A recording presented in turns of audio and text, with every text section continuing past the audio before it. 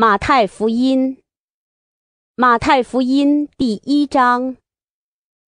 亚伯拉罕的后裔，大卫的子孙，耶稣基督的家谱。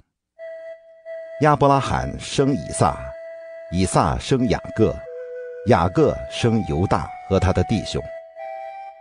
犹大从他马氏生法勒斯和谢拉，法勒斯生希斯伦，希斯伦生亚兰。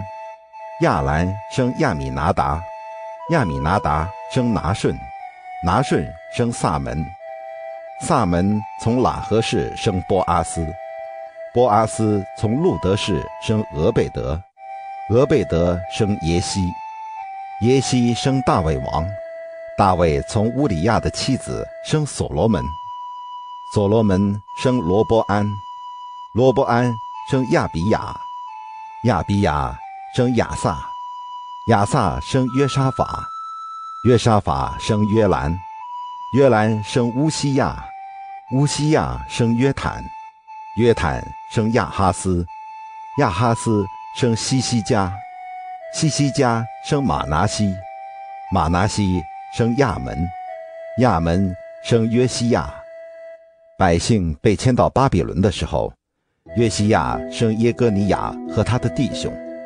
迁到巴比伦之后，耶哥尼亚生萨拉铁，萨拉铁生所罗巴伯，所罗巴伯生亚比玉，亚比玉生以利亚敬，以利亚敬生亚索，亚索生萨都，萨都生亚金，亚金生以律，以律生以利亚撒，以利亚撒生马旦，马旦生雅各。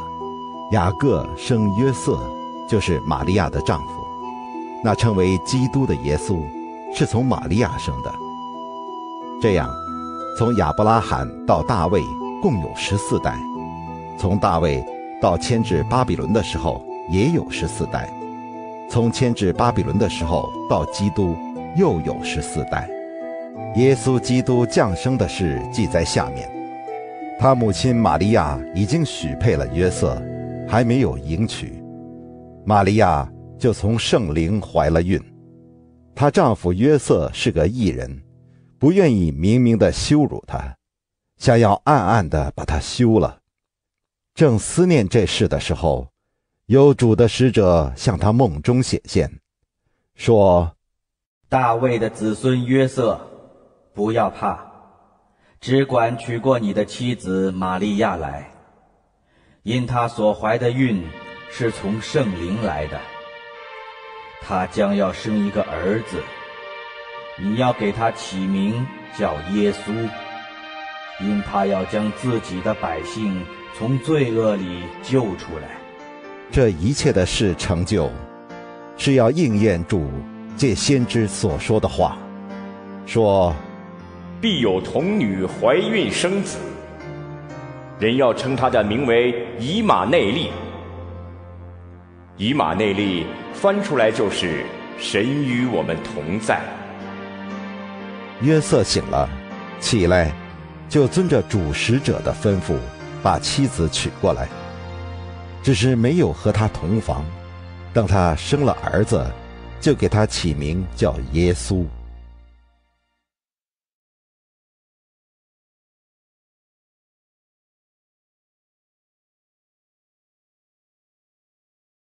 马太福音第二章。当希律王的时候，耶稣生在犹太的伯利恒。有几个博士从东方来到耶路撒冷，说：“那生下来做犹太人之王的在哪里？我们在东方看见他的星，特来拜他。”希律王听见了，就心里不安。耶路撒冷合成的人也都不安，他就召集了祭司长和民间的文士，问他们说：“基督当生在何处？”他们回答说：“在犹太的伯利恒，因为有先知记着说：‘犹大地的伯利恒啊，你在犹大诸城中并不是最小的，因为将来有一位君王要从你那里出来。’牧养我以色列民。当下希律暗暗地招了博士来，细问那星是什么时候出现的，就差他们往伯利恒去，说：“你们去仔细寻访那小孩子，寻到了就来报信，我也好去拜他。”他们听见王的话，就去了，在东方所看见的那星，忽然在他们前头行。直行到小孩子的地方，就在上头停住了。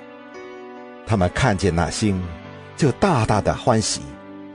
进了房子，看见小孩子和他母亲玛利亚，就俯伏拜那小孩子，揭开宝盒，拿黄金、乳香、没药为礼物献给他。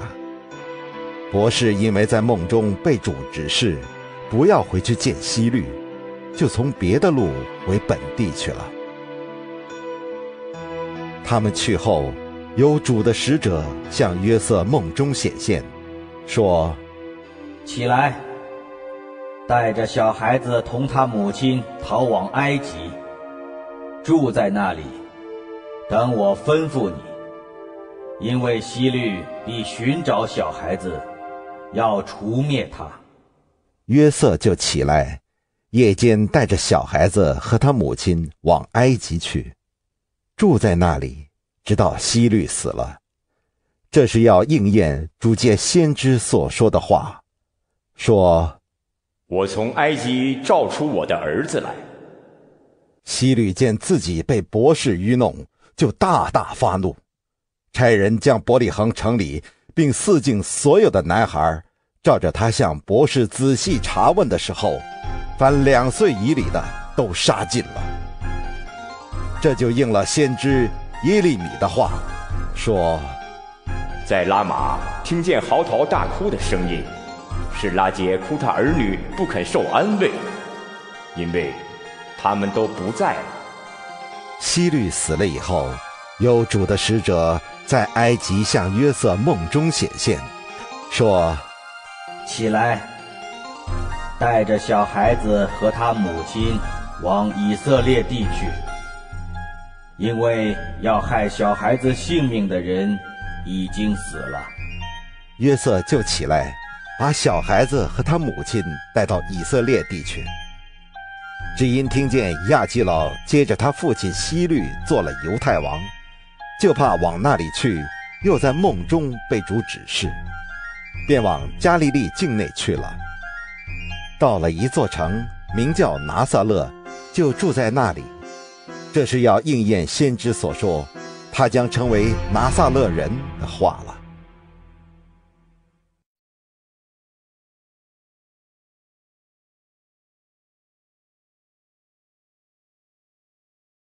马太福音第三章。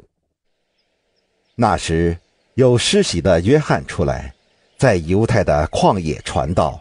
说：“天国近了，你们应当悔改。”这人就是先知以赛亚所说的。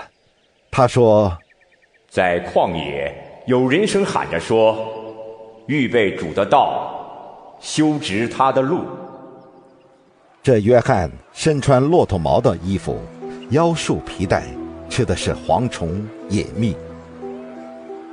那时。耶路撒冷和犹太全地，并约旦河一带地方的人，都出去到约翰那里，承认他们的罪，在约旦河里受他的洗。约翰看见许多法利赛人和撒都该人也来受洗，就对他们说：“毒蛇的种类，谁指示你们逃避将来的愤怒呢？你们要结出果子来。”与悔改的心相称，不要自己心里说有亚伯拉罕为我们的祖宗。我告诉你们，神能从这些石头中给亚伯拉罕兴起子孙来。现在斧子已经放在树根上，凡不结好果子的树就砍下来，丢在火里。我是用水给你们施洗，叫你们悔改。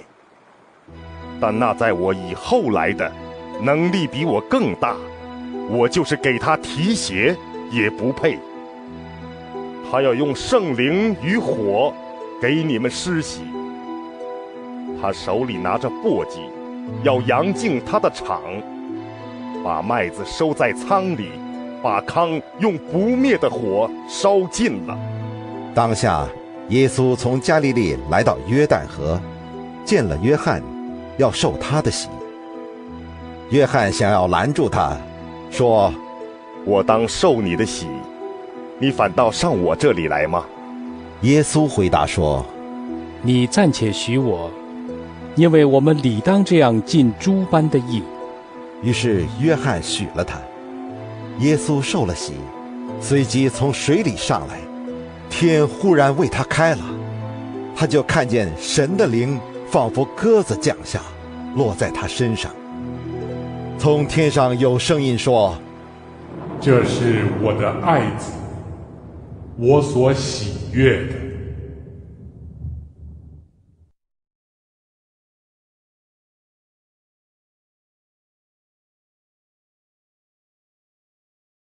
马太福音第四章。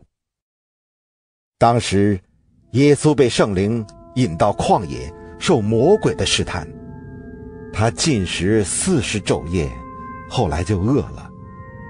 那试探人的近前来，对他说：“你若是神的儿子，可以吩咐这些石头变成食物。”耶稣却回答说：“经上记着说，人活着不是单靠食物，乃是靠神口里所出的一切话。”魔鬼就带他进了圣城，叫他站在殿顶上，对他说：“你若是神的儿子，可以跳下去，因为经上记着说。”主要为你吩咐他的使者，用手托着你，免得你的脚碰在石头上。耶稣对他说：“经上又记着说，不可试探主，你的神。”魔鬼又带他上了一座最高的山。将世上的万国与万国的荣华都指给他看，对他说：“你若俯伏拜我，我就把这一切都赐给你。”耶稣说：“撒旦退去吧，因为经上记着说，当拜主你的神，单要侍奉他。”于是魔鬼离了耶稣，有天使来伺候他。耶稣听见约翰下了监，就退到加利利去。后又离开拿撒勒，往加百农去，就住在那里。那地方靠海，在西布伦和拿弗他利的边界上。这是要应验先知以赛亚的话，说：西布伦地，拿弗他利地。就是沿海的路，约旦河外，外邦人的加利利地。那坐在黑暗里的百姓，看见了大光；坐在死荫之地的人，有光发现照着他们。从那时候，耶稣就传起道来说：“天国近了，你们应当悔改。”耶稣在加利利海边行走。看见弟兄二人，就是那称呼彼得的西门和他兄弟安德烈，在海里撒网。他们本是打鱼的。耶稣对他们说：“来，跟从我，我要叫你们得人如得鱼一样。”他们就立刻舍了网，跟从了他。从那里往前走，又看见弟兄二人，就是西庇太的儿子雅各。和他兄弟约翰，同他们的父亲西庇太在船上捕网。耶稣就招呼他们，他们立刻舍了船，别了父亲，跟从了耶稣。耶稣走遍加利利，在各会堂里教训人，传天国的福音，医治百姓各样的病症。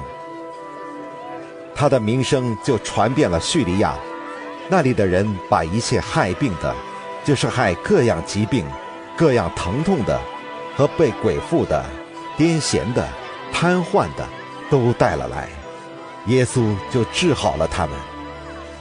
当下。有许多人从加利利、迪加波里、耶路撒冷、犹太、约旦河外来跟着他。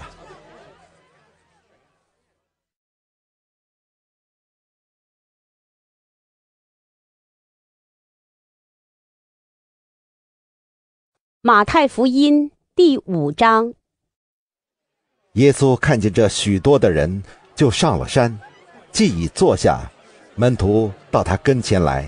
他就开口教训他们说：“虚心的人有福了，因为天国是他们的；哀痛的人有福了，因为他们必得安慰；温柔的人有福了，因为他们必承受地土；饥渴慕义的人有福了，因为他们必得饱足；连续人的人有福了，因为他们必蒙连续。”清心的人有福了，因为他们必得见神；使人和睦的人有福了，因为他们必称为神的儿子；为义受逼迫的人有福了，因为天国是他们的。人若因我辱骂你们、逼迫你们、捏造各样坏话毁谤你们，你们就有福了，应当欢喜快乐。因为你们在天上的赏赐是大的，在你们以前的先知，人也是这样逼迫他们。你们是世上的盐，盐若失了味，怎能叫它再咸呢？以后无用，不过丢在外面，被人践踏了。你们是世上的光，城造在山上，是不能隐藏的。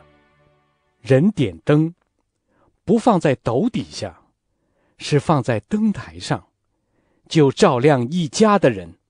你们的光也当这样照在人前，叫他们看见你们的好行为，便将荣耀归给你们在天上的父。莫想我来，要废掉律法和先知。我来，不是要废掉。乃是要成全，我实在告诉你们，就是到天地都废去了，律法的一点一画也不能废去，都要成全。所以，无论何人废掉这诫命中最小的一条，有教训人这样做，他在天国要称为最小的；但无论何人遵行这诫命，又教训人遵行，他在天国要称为大的。我告诉你们，你们的义若不胜于文士和法利赛人的义，断不能进天国。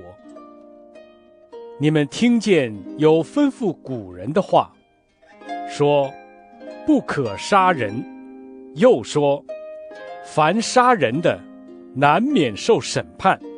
只是我告诉你们，凡向弟兄动怒的，难免受审判；凡骂弟兄是拉家的，难免公会的审断；凡骂弟兄是魔力的，难免地狱的火。所以，你在祭坛上献礼物的时候，若想起弟兄向你怀怨，就把礼物留在坛前。先去同弟兄和好，然后来献礼物。你同告你的对头还在路上，就赶紧与他和稀，恐怕他把你送给审判官，审判官交付衙役，你就下在监里了。我实在告诉你，若有一文钱没有还清，你断不能从那里出来。你们听见有话说，不可奸淫。只是我告诉你们，凡看见妇女就动淫念的，这人心里已经与他犯奸淫了。若是你的右眼叫你跌倒，就弯出来丢掉，宁可失去白体中的一体，不叫全身丢在地狱里。若是右手叫你跌倒，就砍下来丢掉。宁可失去白体中的一体，不叫全身下入地狱。又有话说：人若休妻，就当给他休书。只是我告诉你们，凡休妻的，若不是为淫乱的缘故，就是叫他做淫妇了。人若娶这被休的妇人，也是犯奸淫了。你们又听见有吩咐古人的话，说：“不可背誓，所起的誓，总要向主谨守。”只是我告诉你们，什么事都不可起，不可指着天起誓，因为天是神的座位；不可指着地起誓，因为地是他的脚凳。也不可指着耶路撒冷起誓，因为耶路撒冷是大军的京城；又不可指着你的头起誓，因为你不能使一根头发变黑变白了。你们的话，是，就说是；不是，就说不是。若再多说，就是出于那恶者。你们听见有话说：“以眼还眼，以牙还牙。”只是我告诉你们，不要与恶人作对。有人打你的右脸，连左脸也转过来由他打；有人想要告你，要拿你的里衣，连外衣也由他拿去；有人强逼你走一里路，你就同他走二里。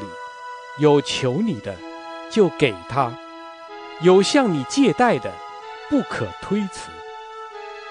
你们听见有话说：当爱你的邻舍，恨你的仇敌。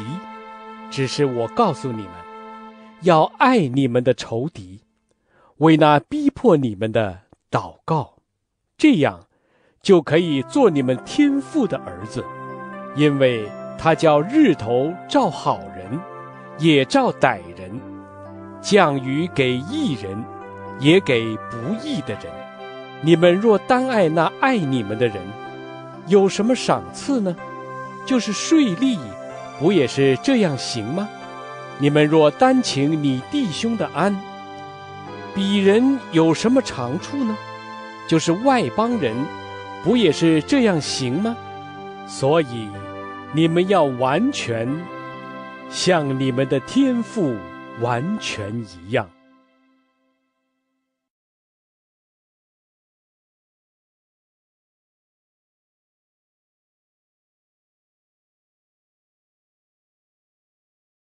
马太福音第六章。你们要小心，不可将善事行在人的面前，故意叫他们看见。若是这样，就不能得你们天赋的赏赐了，所以，你施舍的时候，不可在你前面吹号，像那假冒为善的人在会堂里和街道上所行的，故意要得人的荣耀。我实在告诉你们，他们已经得了他们的赏赐。你施舍的时候，不要叫左手知道右手所做的。要叫你施舍的事行在暗中，你父在暗中查看，必然报答你。你们祷告的时候，不可像那假冒为善的人，爱站在会堂里和十字路口上祷告，故意叫人看见。我实在告诉你们，他们已经得了他们的赏赐。你祷告的时候，要进你的内屋。关上门，祷告你在暗中的父，你父在暗中查看，必然报答你。你们祷告，不可像外邦人，用许多重复话，他们以为话多了必蒙垂听。你们不可效法他们，因为你们没有祈求以先，你们所需用的，你们的父早已知道了。所以。你们祷告要这样说：我们在天上的父，愿人都尊你的名为圣，愿你的国降临，愿你的旨意行在地上，如同行在天上。我们日用的饮食，今日赐给我们，免我们的债，如同我们免了人的债，不叫我们遇见试探。救我们脱离凶恶，因为国度、权柄、荣耀全是你的，直到永远。阿门。你们饶恕人的过犯，你们的天父也必饶恕你们的过犯；你们不饶恕人的过犯，你们的天父也必不饶恕你们的过犯。你们进食的时候，不可像那假冒为善的人。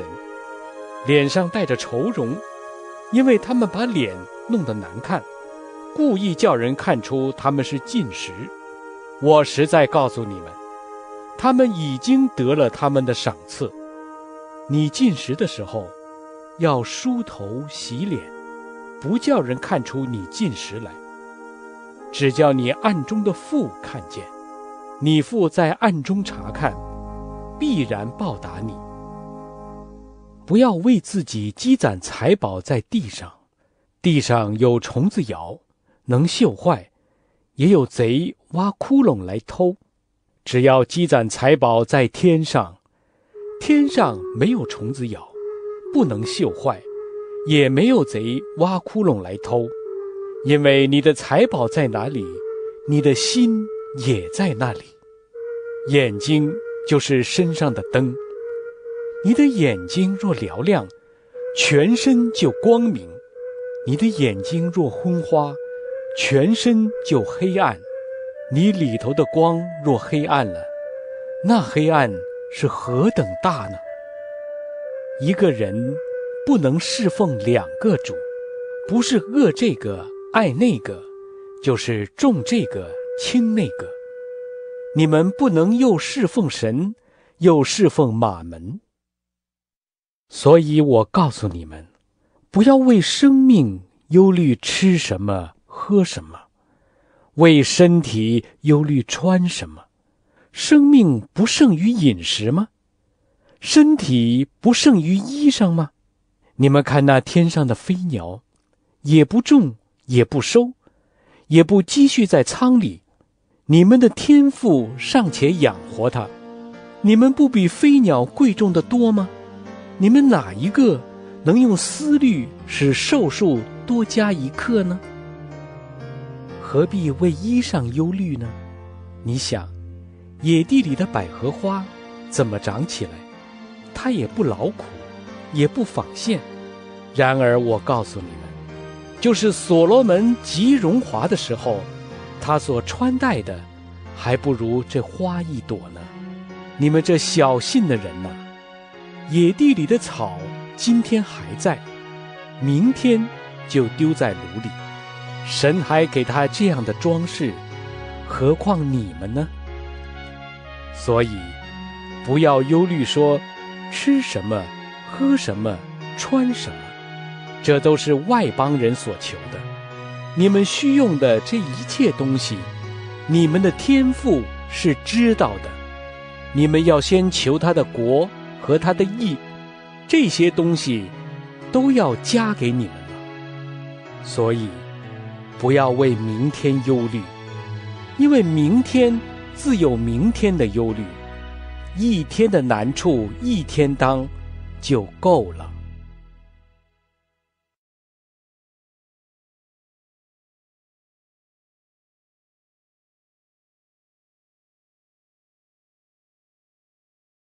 马太福音第七章：你们不要论断人，免得你们被论断。因为你们怎样论断人，也必怎样被论断。你们用什么量器量给人，也必用什么量器量给你们。为什么看见你弟兄眼中有刺，却不想自己眼中有梁木呢？你自己眼中有梁木，怎能对你弟兄说：“容我去掉你眼中的刺呢？”你这假冒为善的人，先去掉自己眼中的梁木，然后才能看得清楚，去掉你弟兄眼中的刺。不要把圣物给狗，也不要把你们的珍珠丢在猪前，恐怕它践踏了珍珠，转过来。咬你们，你们祈求，就给你们；寻找，就寻见；叩门，就给你们开门。因为凡祈求的，就得着；寻找的，就寻见；叩门的，就给他开门。你们中间谁有儿子求饼，反给他石头呢？求鱼，反给他蛇呢？你们虽然不好，尚且知道拿好东西给儿女，何况你们在天上的父，岂不更把好东西给求他的人吗？所以，无论何事，你们愿意人怎样待你们，你们也要怎样待人，因为这就是律法和先知的道理。你们要进窄门。因为引到灭亡，那门是宽的，路是大的，进去的人也多；引到永生，那门是窄的，路是小的，找着的人也少。你们要防备假先知，他们到你们这里来，外面披着羊皮，里面却是残暴的狼。凭着他们的果子。就可以认出他们来。荆棘上岂能摘葡萄呢？棘里里岂能摘无花果呢？这样，凡好树都结好果子，唯独坏树结坏果子。好树不能结坏果子，坏树不能结好果子。凡不结好果子的树，就砍下来，丢在火里。所以。凭着他们的果子，就可以认出他们来。凡称呼我主啊主啊的人，不能都进天国；唯独遵行我天父旨意的人，才能进去。当那日，必有许多人对我说：“主啊主啊，我们不是奉你的名传道，奉你的名赶鬼，奉你的名行许多异能吗？”我就明明的告诉他们说：“我从来不认识你们，你们这些作恶的人，离开我去吧。”所以，凡听见我这话就去行的，好比一个聪明人，把房子盖在磐石上，雨淋、水冲、风吹，撞着那房子，房子总不倒塌，因为根基立在磐石上。凡听见我这话不去行的，好比一个无知的人把房子盖在沙土上，雨淋、水冲、风吹，撞着那房子，房子就倒塌了，并且倒塌的很大。耶稣讲完了这些话，众人都稀奇他的教训，因为他教训他们，正像有权柄的人。不像他们的文士。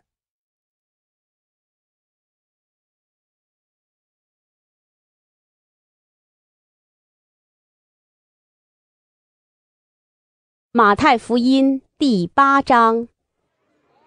耶稣下了山，有许多人跟着他。有一个长大麻风的来拜他，说：“主若肯，必能叫我洁净了。”耶稣伸手摸他说：“我肯，你洁净了吧。”他的大麻风立刻就洁净了。耶稣对他说：“你切不可告诉人，只要去把身体给祭司查看，献上摩西所吩咐的礼物，对众人做证据。”耶稣进了加百农，有一个百夫长进前来求他说：“主啊，我的仆人害瘫痪病，躺在家里，甚是疼苦。”耶稣说：“我去医治他。”百夫长回答说：“主啊，你到我舍下，我不敢当。只要你说一句话，我的仆人就必好了。”因为我在人的权下，也有兵在我以下。对这个说去，他就去；对那个说来，他就来。对我的仆人说，你做这事，他就去做。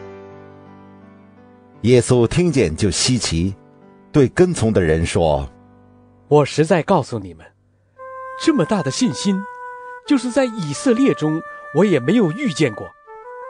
我又告诉你们，从东从西，将有许多人来，在天国里与亚伯拉罕、以撒、雅各一同坐席。唯有本国的子民，竟被赶到外边黑暗里去，在那里必要哀哭切齿了。耶稣对百夫长说：“你回去吧，照你的信心，给你成全了。”那时，他的仆人就好了。耶稣到了彼得家里，见彼得的岳母害热病躺着。耶稣把他的手一摸，热就退了，他就起来服侍耶稣。到了晚上，有人带着许多被鬼附的来到耶稣跟前，他只用一句话，就把鬼都赶出去。并且治好了一切有病的人。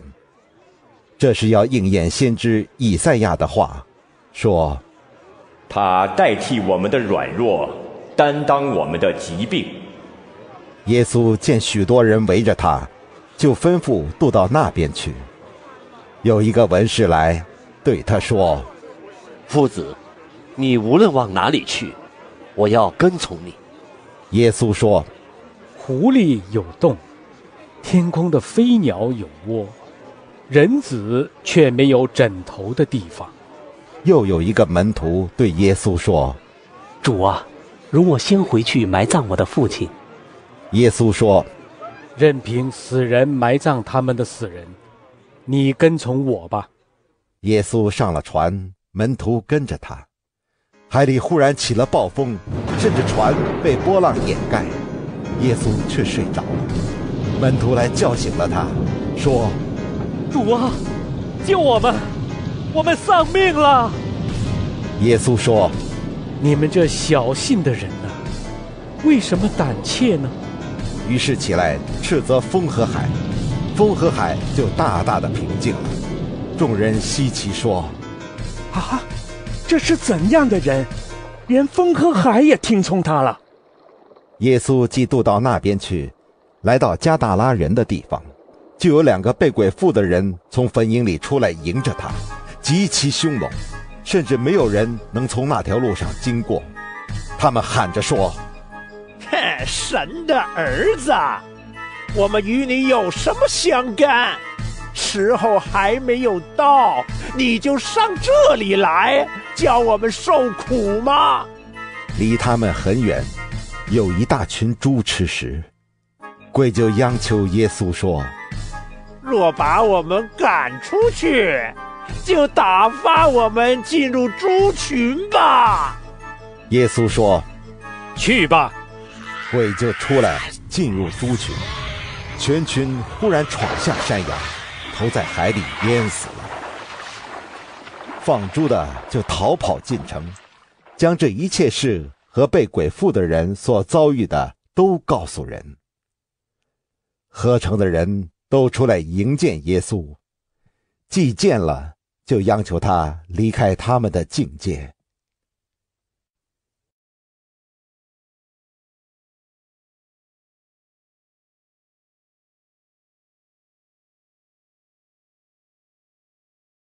马太福音第九章。耶稣上了船，渡过海，来到自己的城里。有人用褥子抬着一个摊子到耶稣跟前来。耶稣见他们的信心，就对摊子说：“小子，放心吧，你的罪赦了。”有几个文士心里说：“这个人说健忘的话了。”耶稣知道他们的心意，就说：“你们为什么心里怀着恶念呢？或说你的罪赦了？”或说，你起来行走，哪一样容易呢？但要叫你们知道，人子在地上有赦罪的权柄。就对摊子说：“起来，拿你的褥子回家去吧。”那人就起来回家去了。众人看见都惊奇，就归荣耀与神，因为他将这样的权柄赐给人。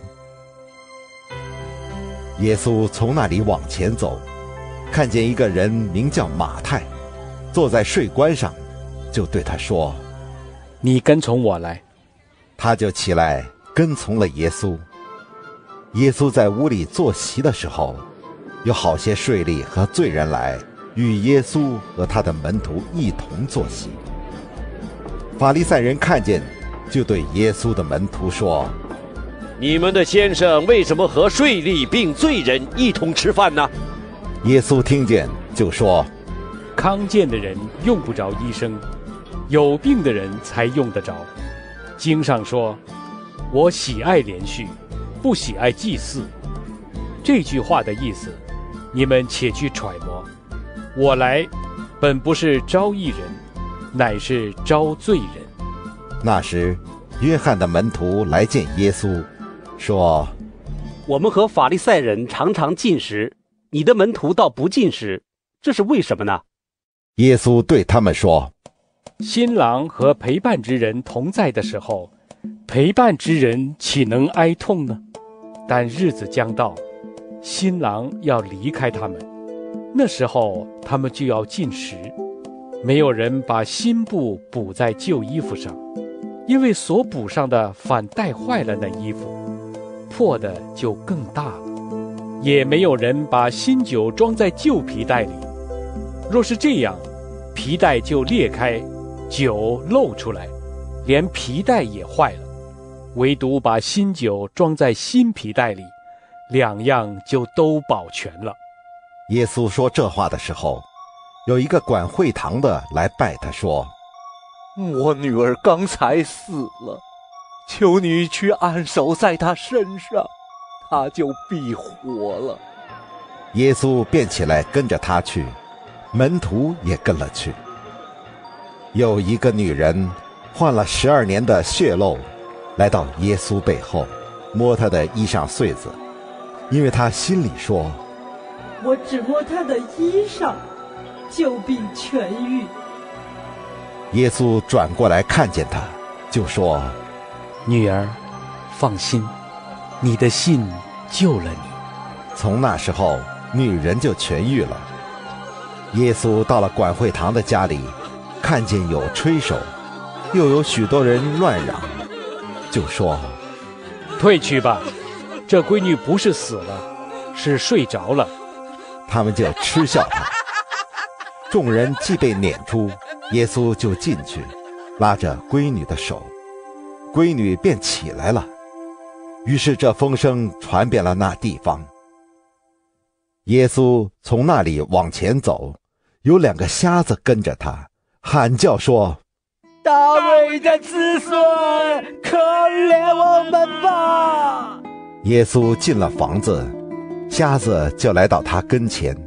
耶稣说：“你们信我能做这事吗？”他们说。主啊，我们信。耶稣就摸他们的眼睛，说：“照着你们的信，给你们成全了吧。”他们的眼睛就开了。耶稣切切地嘱咐他们说：“你们要小心，不可叫人知道。”他们出去，竟把他的名声传遍了那地方。他们出去的时候。有人将鬼所附的一个哑巴带到耶稣跟前来，鬼被赶出去，哑巴就说出话来。众人都稀奇说：“在以色列中，从来没有见过这样的事。”法利赛人却说：“他是靠着鬼王赶鬼。”耶稣走遍各城各乡，在会堂里教训人，宣讲天国的福音，又医治各样的病症。他看见许多的人，就怜悯他们，因为他们困苦流离。如同羊没有牧人一般，于是对门徒说：“要收的庄稼多，做工的人少，所以你们当求庄稼的主打发工人出去收他的庄稼。”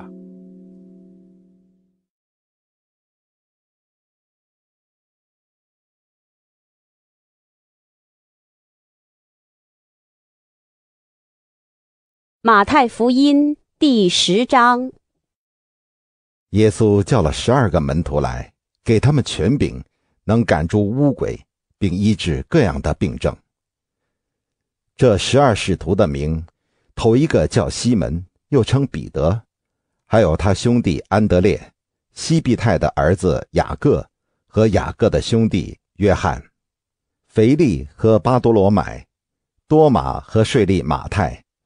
亚勒腓的儿子雅各和达泰，奋锐党的西门，还有卖耶稣的加略人犹大。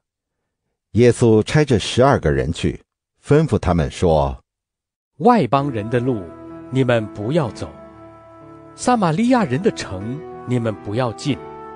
宁可往以色列家迷失的羊那里去。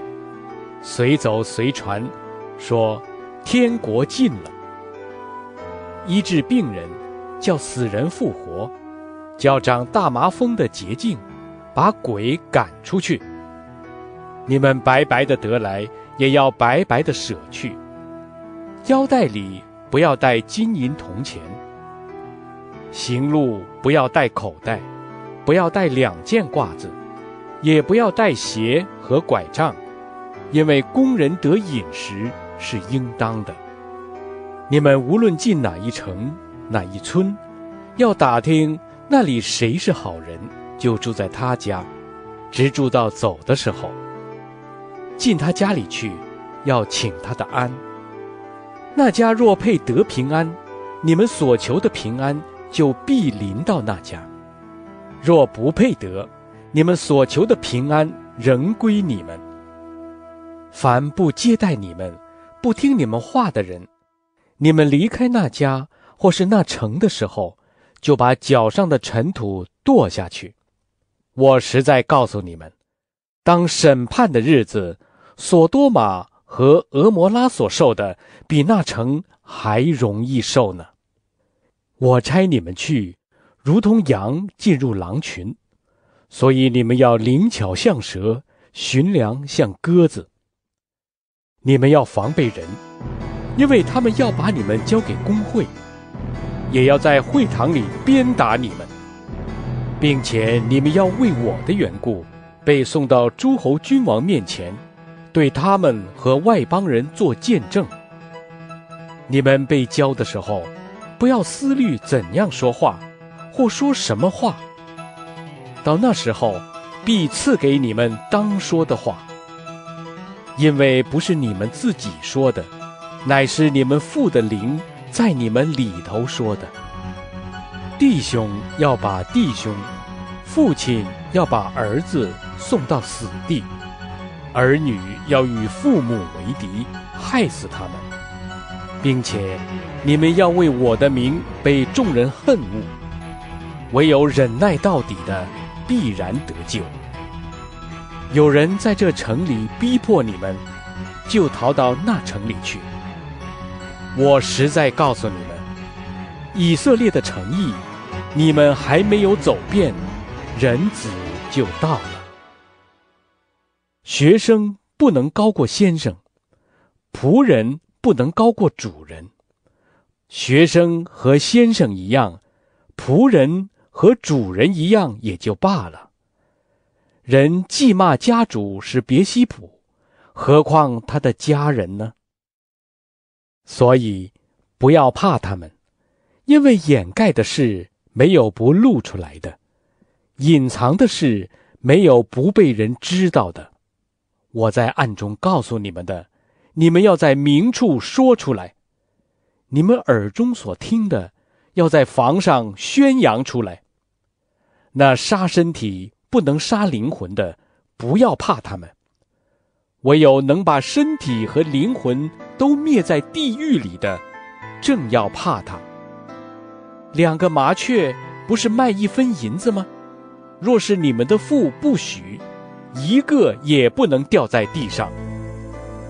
就是你们的头发也都被数过了，所以不要惧怕。你们比许多麻雀还贵重。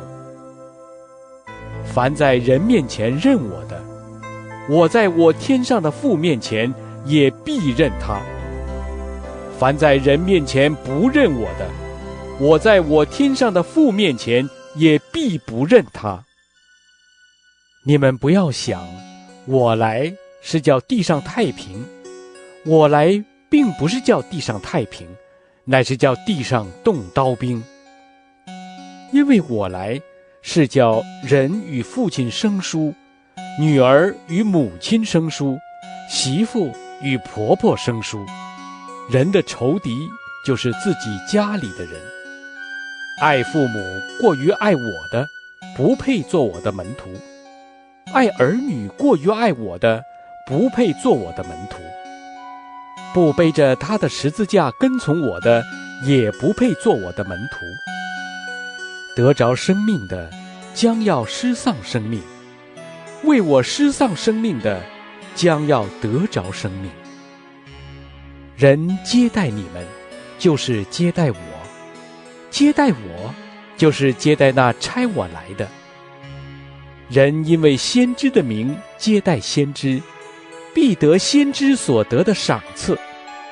人因为一人的名接待一人，必得一人所得的赏赐。无论何人，因为门徒的名，只把一杯凉水给这小子里的一个喝，我实在告诉你们，这人不能不得赏赐。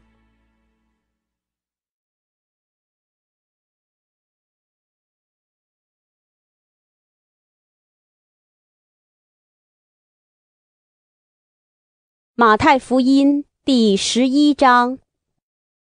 耶稣吩咐完了十二个门徒，就离开那里，往各城去传道、教训人。约翰在监里听见基督所做的事，就打发两个门徒去问他说：“那将要来的是你吗？还是我们等候别人呢？”耶稣回答说：“你们去，把所听见。”所看见的事告诉约翰，就是瞎子看见，瘸子行走，长大麻风的捷径，聋子听见，死人复活，穷人有福音传给他们，凡不因我跌倒的就有福了。他们走的时候，耶稣就对众人讲论约翰说：“你们从前出到旷野是要看什么呢？”要看风吹动的芦苇吗？你们出去到底是要看什么？要看穿细软衣服的人吗？那穿细软衣服的人是在王宫里。你们出去究竟是为什么？是要看先知吗？我告诉你们，是的，他比先知大多了。经上记着说：“我要差遣我的使者。”在你前面预备道路，所说的就是这个人。我实在告诉你们，凡妇人所生的，没有一个兴起来大过施洗约翰的。然而天国里最小的，比他还大。从施洗约翰的时候到如今，天国是努力进入的，努力的人就得着了。因为众先知和律法说预言，到约翰为止。你们若肯领受，这人就是那应当来的以利亚。有耳可听的就应当听。我可用什么比这世代呢？好像孩童坐在街市上招呼同伴，说：“我们向你们吹笛，你们不跳舞；我们向你们举哀，你们不捶胸。”约翰来了，也不吃，也不喝，人就说他是被鬼附着的。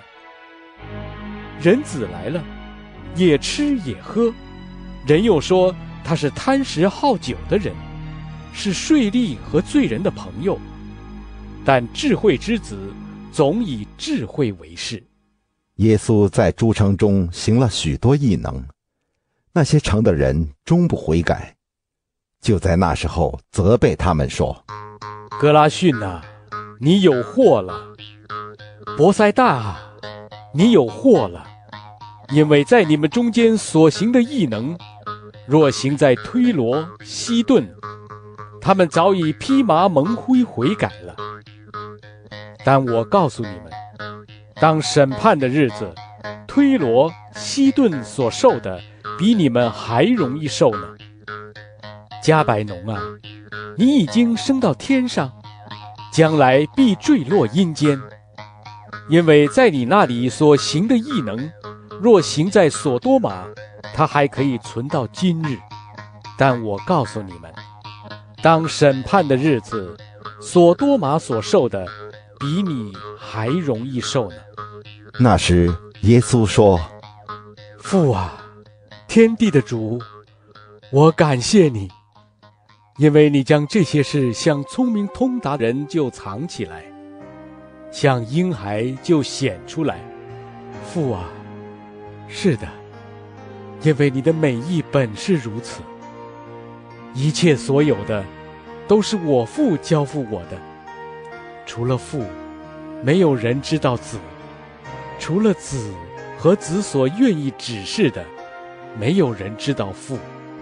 凡劳苦担重担的人，可以到我这里来，我就使你们得安息。我心里柔和谦卑，你们当负我的恶，学我的样式，这样。你们心里就必得享安息，因为我的恶是容易的，我的担子是轻省的。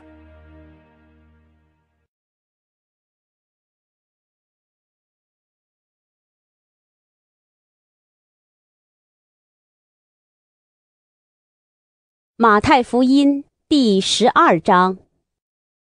那时，耶稣在安息日从麦地经过。他的门徒饿了，就掐起麦穗来吃。法利赛人看见，就对耶稣说：“看呐，你的门徒做安息日不可做的事了。”耶稣对他们说：“经上记着大卫和跟从他的人饥饿之时所做的事，你们没有念过吗？他怎么进了神的殿，吃了陈设饼？这饼不是他和跟从他的人可以吃的。”唯独祭司才可以吃。再者，律法上所记的，当安息日，祭司在殿里犯了安息日，还是没有罪。你们没有念过吗？但我告诉你们，在这里有一人比殿更大。我喜爱连续，不喜爱祭祀。你们若明白这话的意思，就不将无罪的。当作有罪的了，因为人子是安息日的主。耶稣离开那地方，进了一个会堂，那里有一个人枯干了一只手。有人问耶稣说：“安息日治病可以不可以？”意思是要控告他。耶稣说：“你们中间谁有一只羊，当安息日掉在坑里，不把它抓住拉上来呢？”人比羊何等贵重呢？所以，在安息日做善事是可以的。于是对那人说：“伸出手来。”他把手一伸，手就复了原，和那只手一样。法利赛人出去商议怎样可以除灭耶稣。耶稣知道了，就离开那里，有许多人跟着他。他把其中有病的人都治好了。又嘱咐他们不要给他传名。这是要应验先知以赛亚的话，说：“看哪，我的仆人，我所拣选、所亲爱、心里所喜悦的，我要将我的灵赐给他，他必将公理传给外邦。他不争竞，不喧嚷，街上也没有人听见他的声音。压伤的芦苇。”他不折断，将残的灯火，他不吹灭，等他施行公理，叫公理得胜，外邦人都要仰望他的名。当下，有人将一个被鬼附着、又瞎又哑的人带到耶稣那里，耶稣就医治他，甚至那哑巴又能说话，又能看见。众人都惊奇，说。这不是大卫的子孙吗？但法利赛人听见，就说：“这个人赶鬼，无非是靠着鬼王别西卜啊。”耶稣知道他们的意念，就对他们说：“凡异国自相纷争，就成为荒场；一城一家自相纷争，必站立不住。若撒旦赶逐撒旦，就是自相纷争。”他的国怎能站得住呢？我若靠着别西卜赶鬼，你们的子弟赶鬼又靠着谁呢？这样，他们就要断定你们的是非。我若靠着神的灵赶鬼，这就是神的国临到你们了。人怎能进壮士家里抢夺他的家具呢？除非先捆住那壮士，才可以抢夺他的家财。不与我相合的，就是敌我的；不同我收据的，就是分散的。所以我告诉你们，人一切的罪和亵渎的话，都可得赦免；唯独亵渎圣灵，总不得赦免。凡说话干犯人子的，还可得赦免；唯独说话干犯圣灵的，今世来世。总不得赦免。你们或以为树好，果子也好；树坏，果子也坏。因为看果子就可以知道树。毒蛇的种类，你们既是恶人，怎能说出好话来呢？因为心里所充满的，口里就说出来。善人从他心里所存的善，就发出善来。恶人从他心里所存的恶，就发出恶来。我又告诉你们，凡人所说的闲话，当审判的日子，必要句句供出来，因为要凭你的话定你为义，也要凭你的话定你有罪。当时有几个文士和法利赛人对耶稣说：“夫子。”我们愿意你显个神迹给我们看。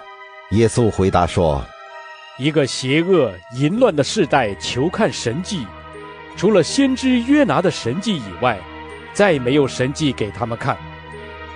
约拿三日三夜在大鱼肚腹中，人子也要这样三日三夜在地里头。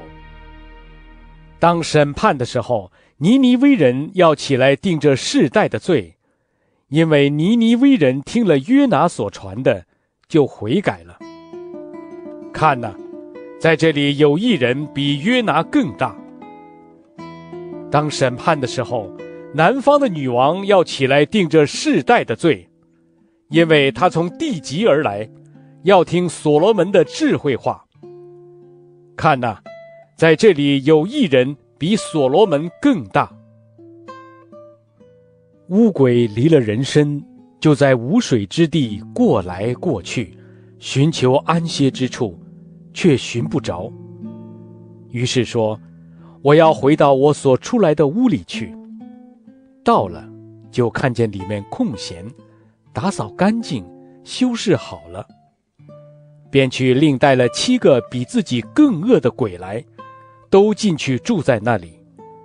那人幕后的景况比先前更不好了，这邪恶的世代也要如此。耶稣还对众人说话的时候，不料他母亲和他弟兄站在外边，要与他说话。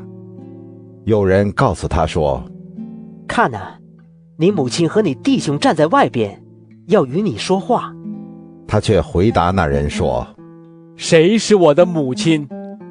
谁是我的弟兄？”就伸手指着门徒说：“看呐，我的母亲，我的弟兄。”凡遵行我天父旨意的人，就是我的弟兄、姐妹和母亲了。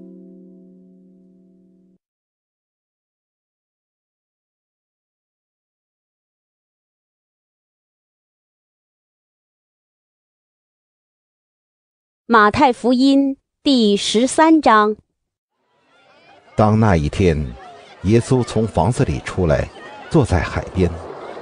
有许多人到他那里聚集，他只得上船坐下，众人都站在岸上。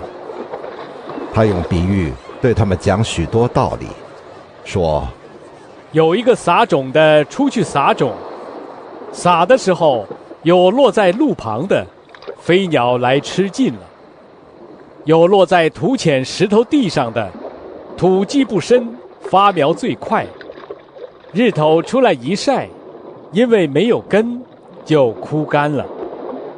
有落在荆棘里的，荆棘长起来，把它挤住了；又有落在好土里的，就结实，有一百倍的，有六十倍的，有三十倍的。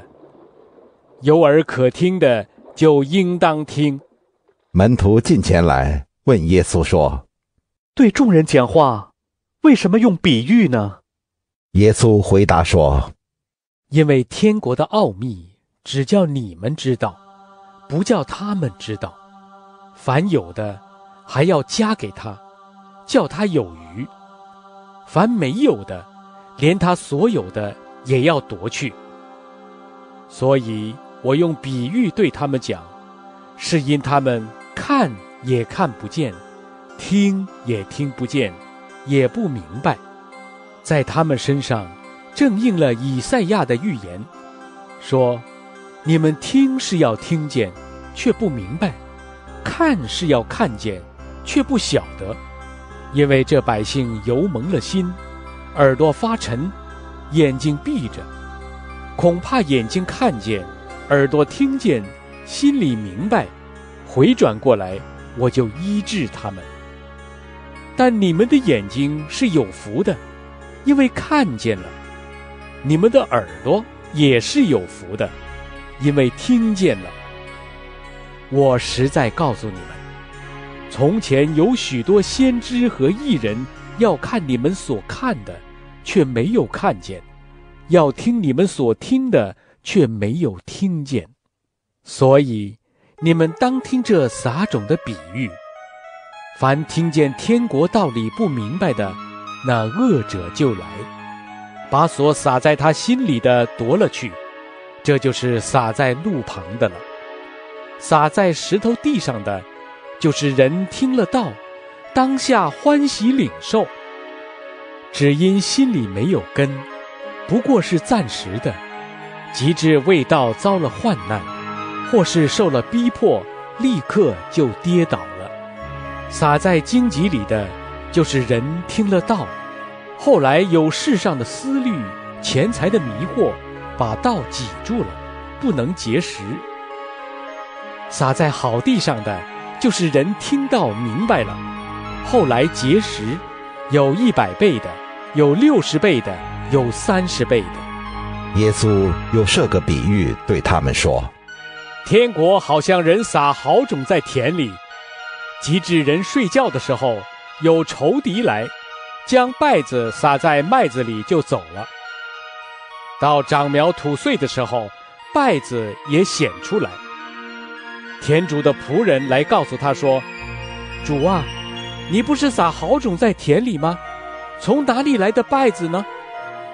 主人说：“这是仇敌做的。”仆人说：“你要我们去薅出来吗？”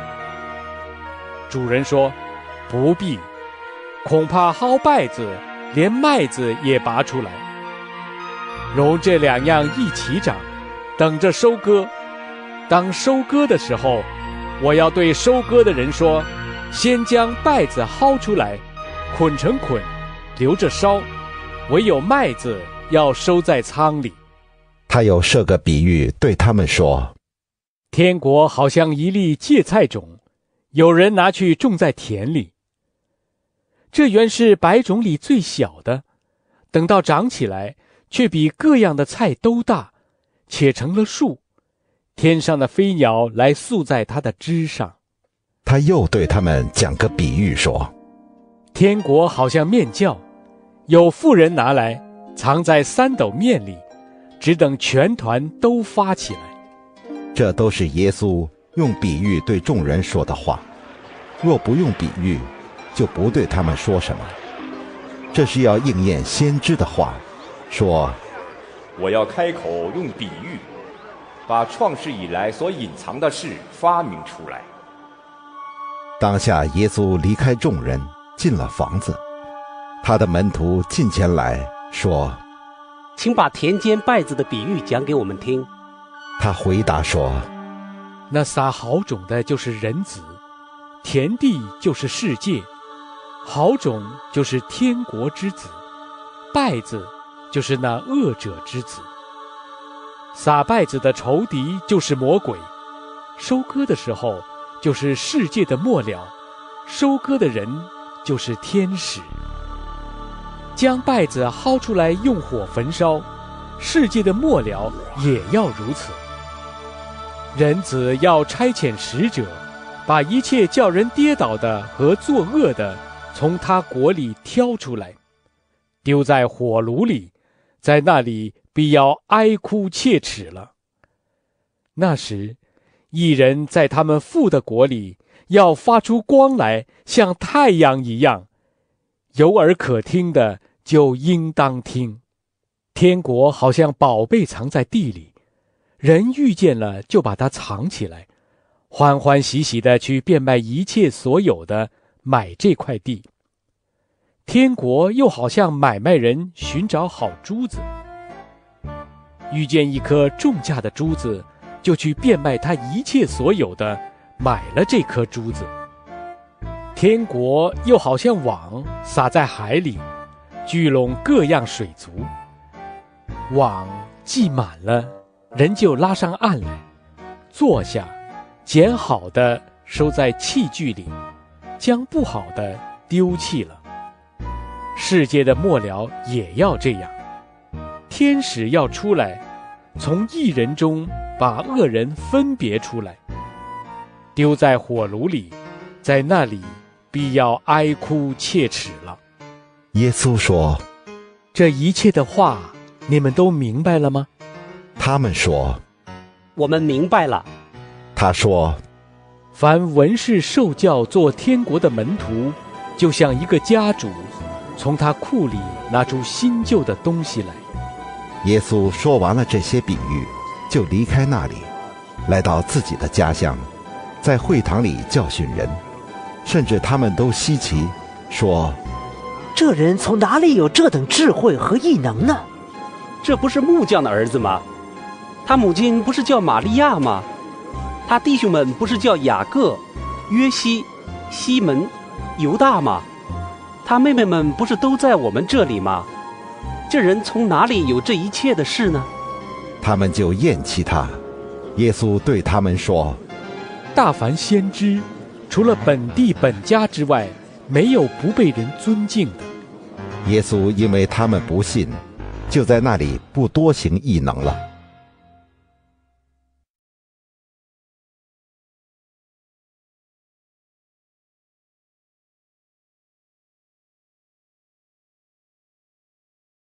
马太福音。第十四章。那时，分封的王希律听见耶稣的名声，就对臣仆说：“这是施洗的约翰，从死里复活，所以这些异能从他里面发出来。”起先，希律为他兄弟腓力的妻子希罗底的缘故，把约翰拿住，锁在监里。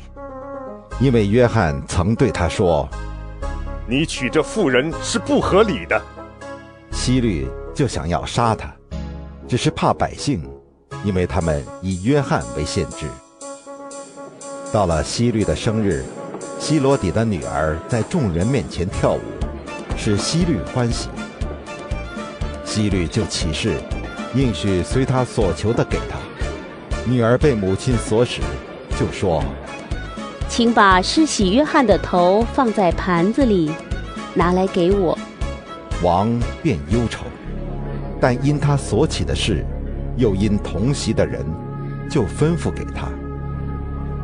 于是打发人去，在监里斩了约翰，把头放在盘子里，拿来给了女子。女子拿去给他母亲。约翰的门徒来，把尸首领去埋葬了，就去告诉耶稣。耶稣听见了，就上船，从那里独自退到野地里去。众人听见，就从各城里步行跟随他。耶稣出来，见有许多的人，就怜悯他们，治好了他们的病人。天将晚的时候，门徒进前来说：“这是野地，时候已经过了，请叫众人散开，他们好往村子里去，自己买吃的。”耶稣说：“不用他们去，你们给他们吃吧。”门徒说：“我们这里只有五个饼，两条鱼。”耶稣说：“拿过来给我。”于是吩咐众人坐在草地上，就拿着这五个饼、两条鱼，望着天祝福，掰开饼，递给门徒，门徒又递给众人，他们都吃，并且吃饱了，把剩下的零碎收拾起来，装满了十二个篮子，吃的人。除了妇女孩子，约有五千。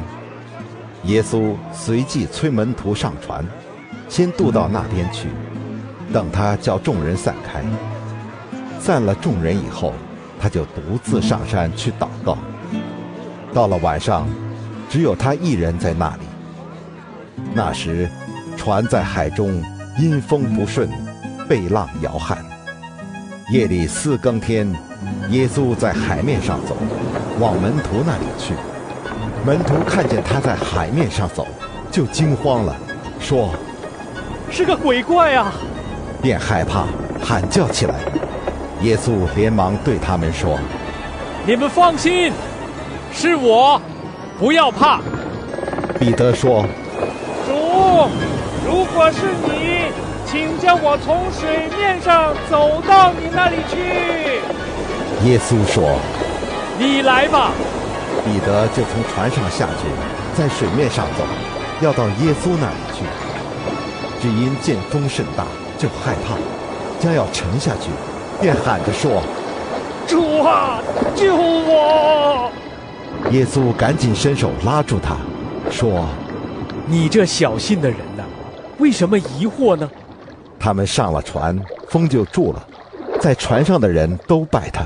说：“你真是神的儿子了。”他们过了海，来到格尼萨勒地方，那里的人一认出是耶稣，就打发人到周围地方去，把所有的病人带到他那里，只求耶稣准他们摸他的衣裳穗子，摸着的人就都好了。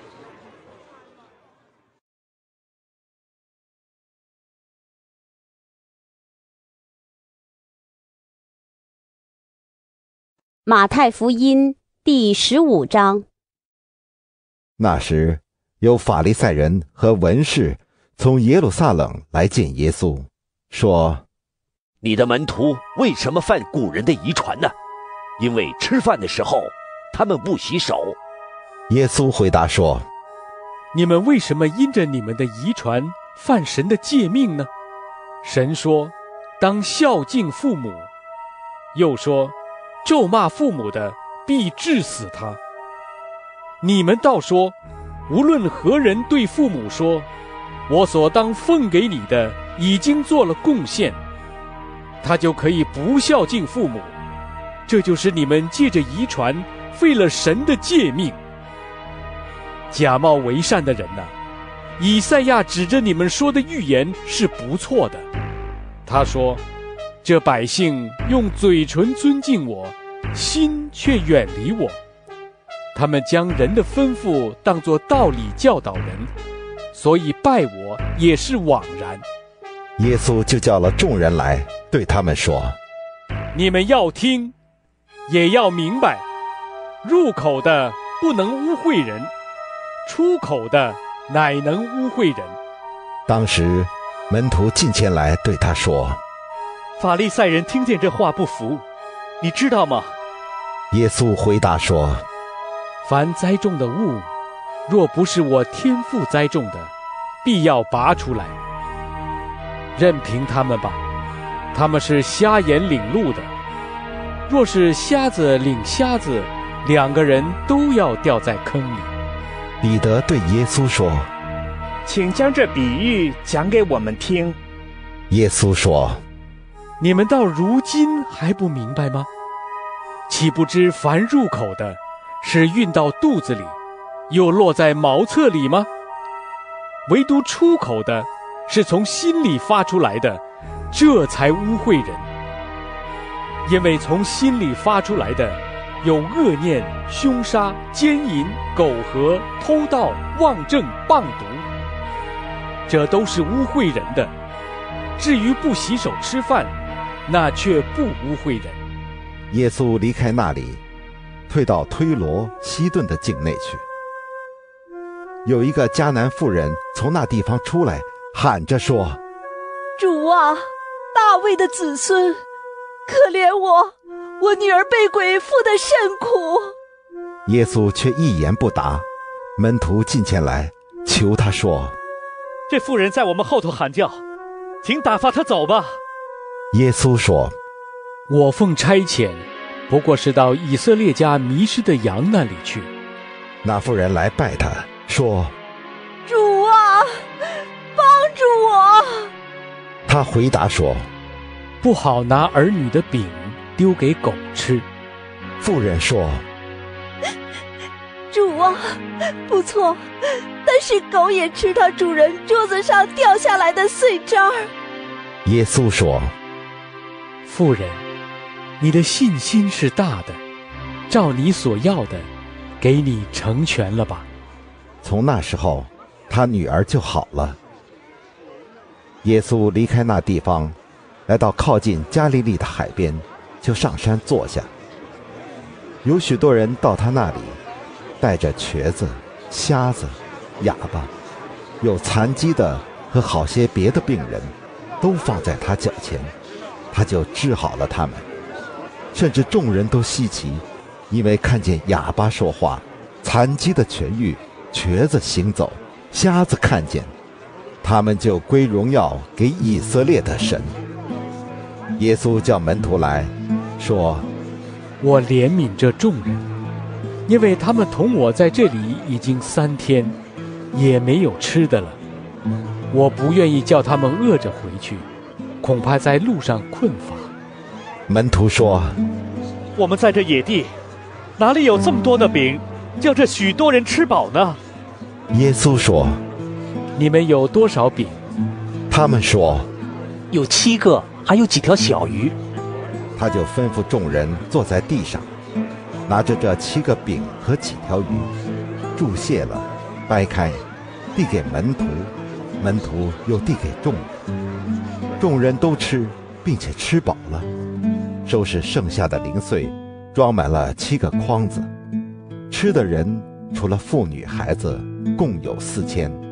耶稣叫众人散去，就上船，来到马加丹的境界。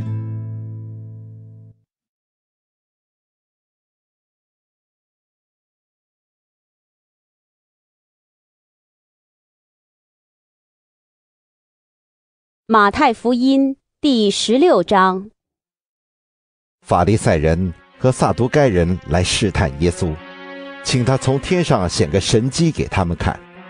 耶稣回答说晚上天发红，你们就说天必要晴；早晨天发红又发黑，你们就说今日必有风雨。你们知道分辨天上的气色，倒不能分辨这时候的神迹。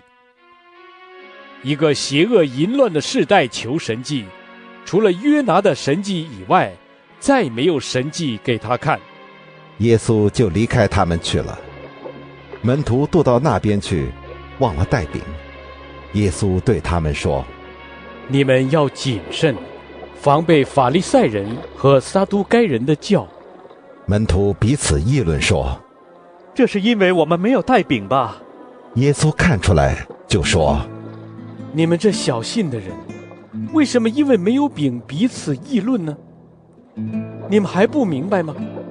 不记得那五个饼分给五千人，又收拾了多少篮子的零碎吗？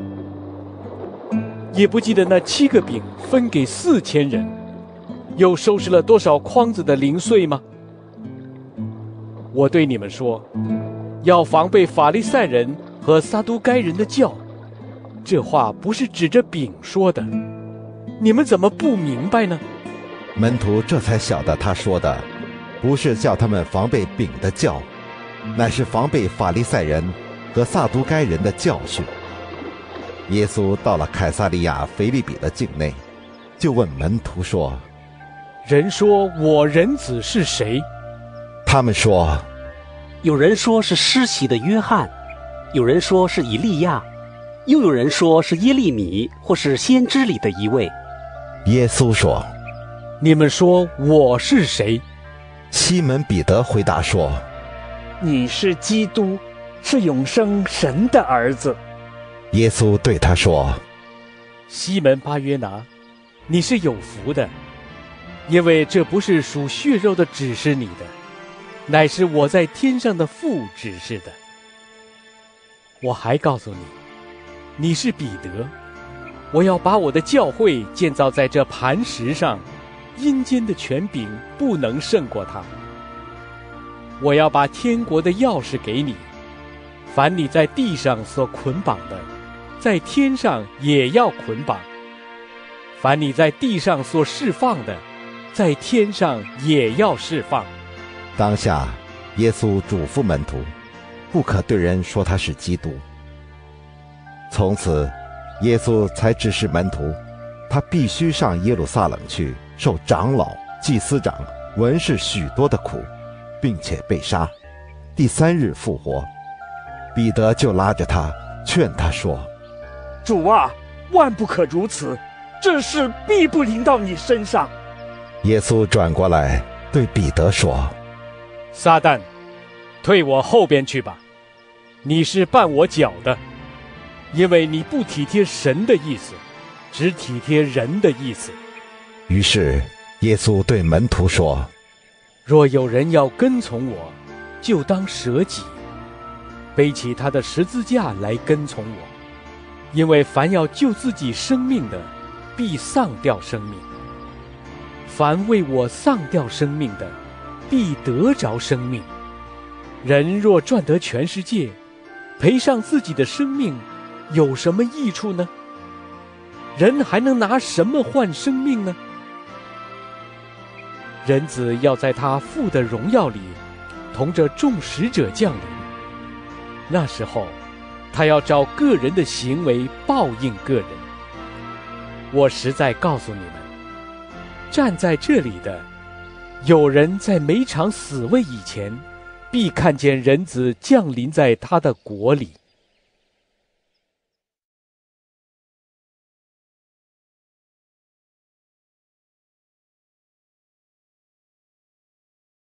马太福音第十七章。过了六天，耶稣带着彼得、雅各和雅各的兄弟约翰，暗暗的上了高山。就在他们面前变了形象，脸面明亮如日头，衣裳洁白如光。忽然，有摩西、以利亚向他们显现，同耶稣说话。彼得对耶稣说：“主啊，我们在这里真好。你若愿意，我就在这里搭三座棚，一座为你，一座为摩西，一座为以利亚。”说话之间。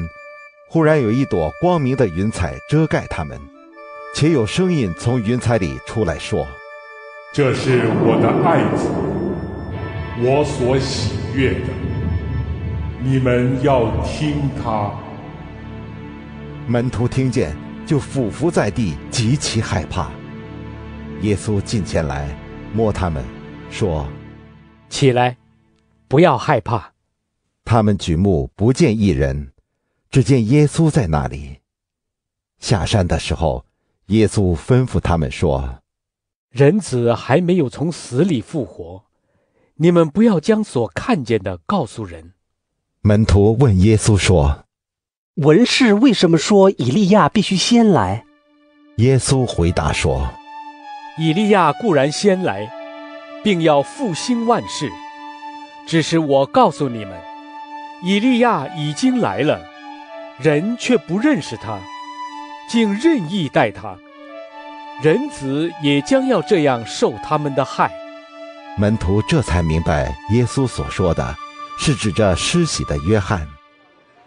耶稣和门徒到了众人那里，有一个人来见耶稣，跪下说：“啊，怜悯我的儿子。”他害癫痫的病很苦，屡次跌在火里，屡次跌在水里。我带他到你门徒那里，他们却不能医治他。耶稣说：“哦，这又不信又悖谬的世代啊！我在你们这里要到几时呢？我忍耐你们要到几时呢？把他带到我这里来吧。”耶稣斥责那鬼，鬼就出来，从此孩子就痊愈了。门徒暗暗的到耶稣跟前说：“我们为什么不能赶出那鬼呢？”耶稣说：“是因你们的信心小。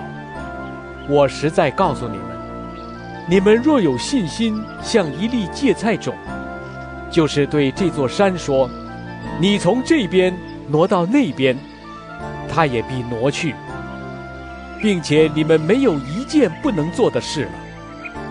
至于这一类的鬼，若不祷告进食，他就不出来。他们还住在加利利的时候，耶稣对门徒说：“人子将要被交在人手里，他们要杀害他。第三日，他要复活。”门徒就大大的忧愁。到了加百农，有收丁税的人来见彼得说。你们的先生不纳丁税吗？彼得说：“那。”他进了屋子，耶稣先向他说：“西门，你的意思如何？世上的君王向谁征收关税、丁税？是向自己的儿子呢，是向外人呢？”彼得说：“是向外人。”耶稣说：“既然如此。”儿子就可以免税了，但恐怕触犯他们。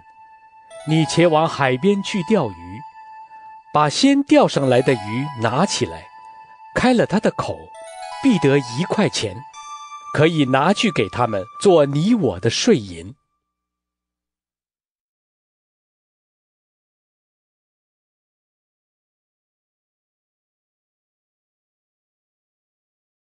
马太福音第十八章。当时门徒进前来问耶稣说：“天国里谁是最大的？”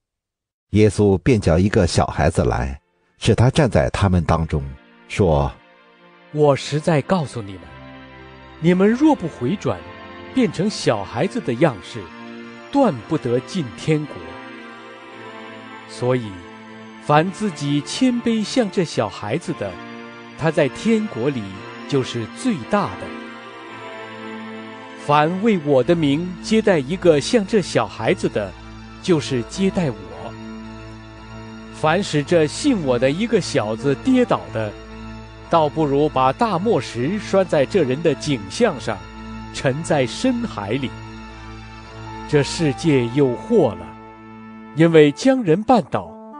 绊倒人的事是免不了的，但那绊倒人的有祸了。倘若你一只手或是一只脚叫你跌倒，就砍下来丢掉。你缺一只手或是一只脚，进入永生，强如有两手两脚被丢在永火里。倘若你一只眼叫你跌倒，就把它剜出来丢掉。你只有一只眼进入永生，强如有两只眼被丢在地狱的火里。你们要小心，不可轻看这小子里的一个。我告诉你们。他们的使者在天上，常见我天父的面。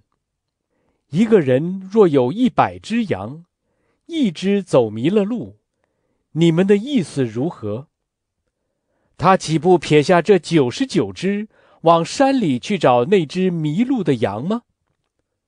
若是找着了，我实在告诉你们，他为这一只羊欢喜。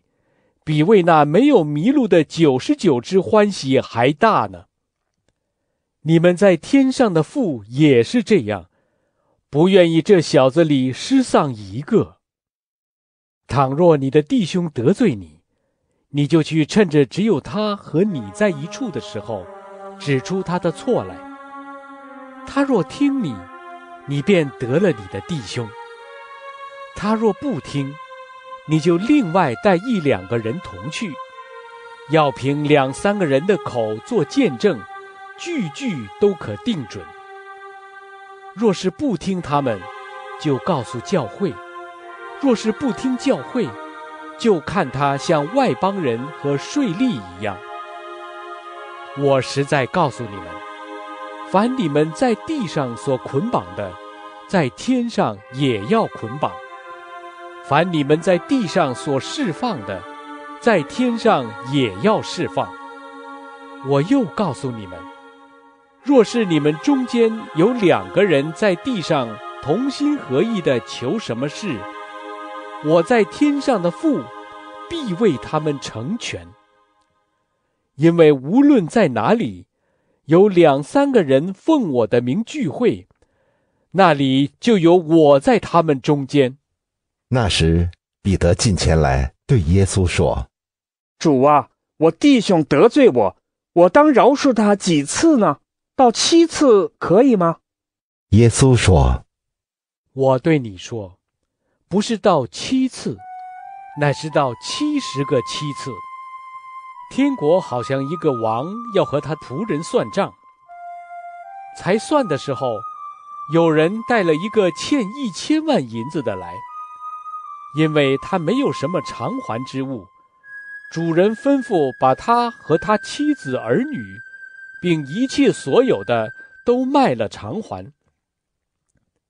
那仆人就俯伏拜他，说：“主啊，宽容我，将来我都要还清。”那仆人的主人就动了慈心，把他释放了，并且免了他的债。那仆人出来。遇见他的一个同伴欠他十两银子，便揪着他，掐住他的喉咙，说：“你把所欠的还我。”他的同伴就俯伏央求他说：“宽容我吧，将来我必还清。”他不肯，进去把他下在监里，等他还了所欠的债。众同伴看见他所做的事，就甚忧愁。去把这事都告诉了主人。于是，主人叫了他来，对他说：“你这恶奴才，你央求我，我就把你所欠的都免了。你不应当连续你的同伴，向我连续你吗？”主人就大怒，把他交给掌刑的，等他还清了所欠的债。你们个人若不从心里饶恕你的弟兄，我天父也要这样待你们了。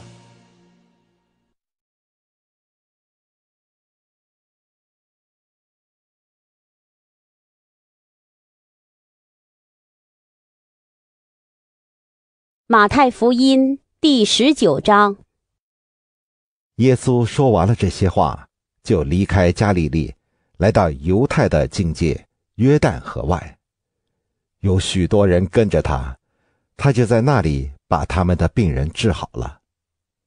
有法利赛人来试探耶稣，说：“人无论什么缘故都可以休妻吗？”耶稣回答说：“那起初造人的是造男造女，并且说，因此人要离开父母，与妻子联合，二人成为一体。这经你们没有念过吗？既然如此。”夫妻不再是两个人，乃是一体的了。所以神配合的人不可分开。法利赛人说：“这样，摩西为什么吩咐给妻子休书，就可以休她呢？”耶稣说：“摩西因为你们的心硬，所以许你们休妻，但起初并不是这样。我告诉你们。”凡休妻另娶的，若不是为淫乱的缘故，就是犯奸淫了。有人娶那被休的妇人，也是犯奸淫了。门徒对耶稣说：“人和妻子既是这样，倒不如不娶。”耶稣说：“这话不是人都能领受的，唯独赐给谁，谁才能领受。因为有生来是阉人。”也有被人阉的，并有为天国的缘故自阉的。这话谁能领受，就可以领受。那时，有人带着小孩子来见耶稣，要耶稣给他们按手祷告。门徒就责备那些人。耶稣说：“让小孩子到我这里来，不要禁止他们，因为在天国的正是这样的人。”耶稣给他们按手，就离开那地方去了。有一个人来见耶稣，说：“夫子，我该做什么善事才能得永生？”耶稣对他说：“你为什么以善事问我呢？只有一位是善的。你若要进入永生，就当遵守诫命。”他说：“什么诫命？”耶稣说。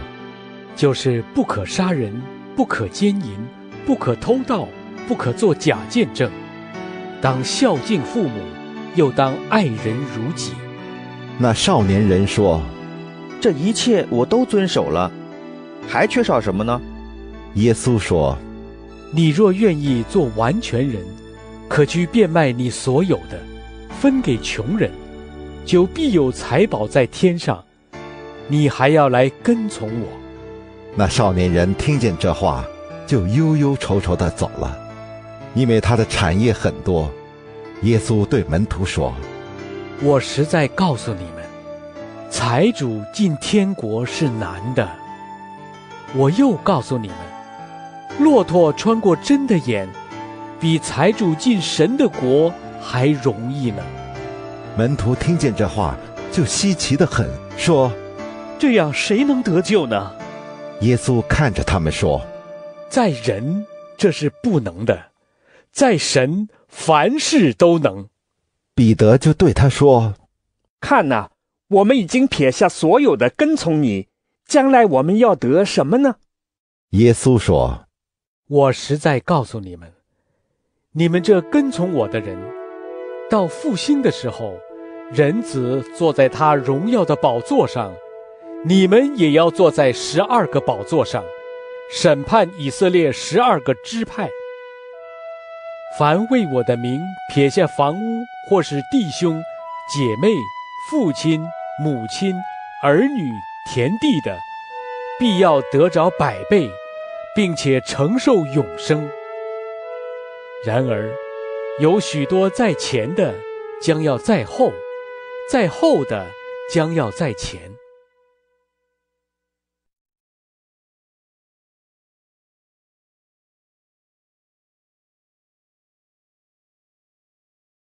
马太福音第二十章，因为天国好像家主清早去雇人进他的葡萄园做工，和工人讲定一天一钱银子，就打发他们进葡萄园去。约在四出出去，看见世上还有闲站的人，就对他们说：“你们也进葡萄园去，所当给的，我必给你们。”他们也进去了。约在午正和申初又出去，也是这样行。约在游出出去，看见还有人站在那里，就问他们说：“你们为什么整天在这里闲站呢？”他们说：“因为没有人雇我们。”他说：“你们也进葡萄园去。”到了晚上，园主对管事的说。叫工人都来，给他们工钱，从后来的起，到先来的为止。约在游出雇的人来了，个人得了一钱银子。及至那先雇的来了，他们以为必要多得，谁知也是各得一钱。他们得了，就埋怨家主说：“我们整天劳苦受热。”那后来的只做了一小时，你竟叫他们和我们一样吗？家主回答其中的一人说：“朋友，我不亏负你，你与我讲定的不是一钱银子吗？拿你的走吧，我给那后来的和给你一样，这是我愿意的。我的东西难道不可随我的意思用吗？因为我做好人。”你就红了眼吗？这样，那在后的将要在前，在前的将要在后了。耶稣上耶路撒冷去的时候，在路上把十二个门徒带到一边，对他们说：“看呐，我们上耶路撒冷去，人子要被交给祭司长和文士，他们要定他死罪，又交给外邦人。”将他戏弄、鞭打，钉在十字架上。第三日，他要复活。那时，西庇太儿子的母亲同他两个儿子上前来拜耶稣，求他一件事。耶稣说：“你要什么呢？”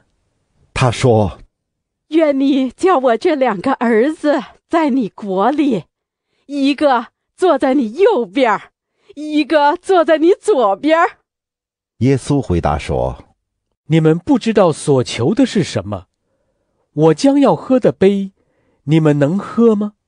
他们说：“我们能。”耶稣说：“我所喝的杯，你们必要喝。只是坐在我的左右，不是我可以赐的，乃是我父为谁预备的，就赐给谁。”那十个门徒听见，就恼怒他们弟兄二人。耶稣叫了他们来说：“你们知道外邦人有君王为主治理他们，有大臣操权管束他们。只是在你们中间不可这样。你们中间谁愿为大，就必做你们的用人；谁愿为首，就必做你们的仆人。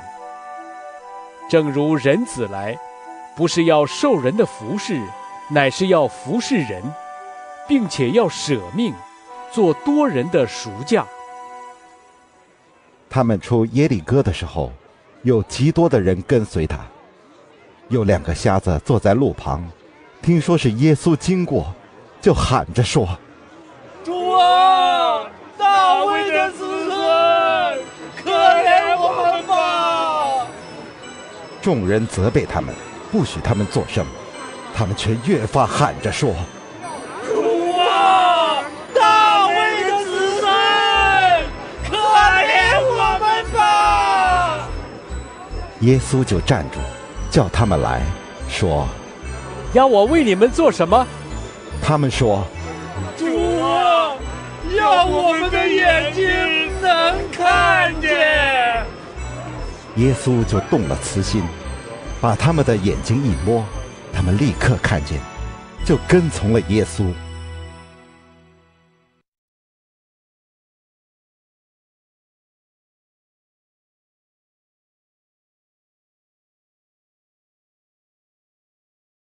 马太福音第二十一章。耶稣和门徒将近耶路撒冷，到了伯法奇，在橄榄山那里，耶稣就打发两个门徒，对他们说：“你们往对面村子里去，必看见一匹驴拴在那里，还有驴驹同在一处。你们解开，牵到我这里来。若有人对你们说什么，你们就说：主要用它。那人必立时让你们牵来。这事成就，是要应验先知的话，说。”要对西安的居民说：“看呐，你的王来到你这里，是温柔的，又骑着驴，就是骑着驴驹子。”门徒就照耶稣所吩咐的去行，牵了驴和驴驹来，把自己的衣服搭在上面，耶稣就骑上。众人多半把衣服铺在路上，还有人砍下树枝来铺在路上。前行后随的众人喊着说：“何塞那归大卫的子孙，奉主名来的是应当称颂的。高高在上的何塞那！”耶稣既进了耶路撒冷，何城都惊动了，说：“这是谁？”众人说：“这是加利利拿撒勒的先知耶稣。”耶稣进了神的殿，赶出店里一切做买卖的人，推倒兑换银钱之人的桌子和卖鸽子之人的凳子，对他们说：“经上记着说，我的殿必称为祷告的殿，你们倒使它成为贼窝了。”在店里有瞎子、瘸子到耶稣跟前，他就治好了他们。祭司长和文士看见耶稣所行的奇事。又见小孩子在店里喊着说：“何塞那，归于大卫的子孙。”就甚恼怒，对他说：“这些人所说的，你听见了吗？”耶稣说：“是的。经上说，你从婴孩和吃奶的口中完全了赞美的话，你们没有念过吗？”于是离开他们，出城到伯大尼去。在那里住宿。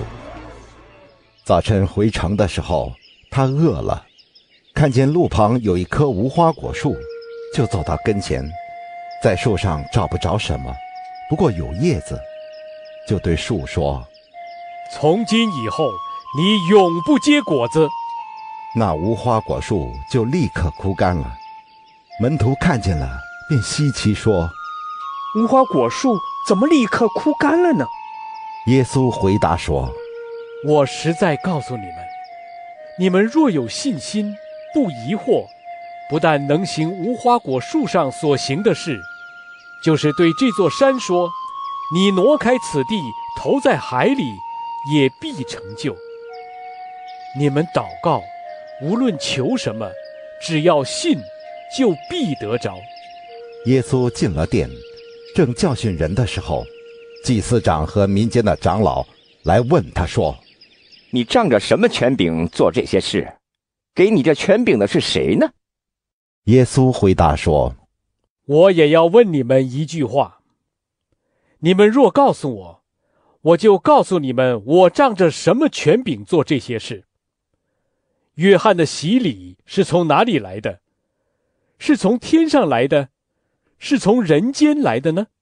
他们彼此商议说：“我们若说从天上来，他必对我们说：‘这样，你们为什么不信他呢？’若说从人间来，我们又怕百姓，因为他们都以约翰为先知。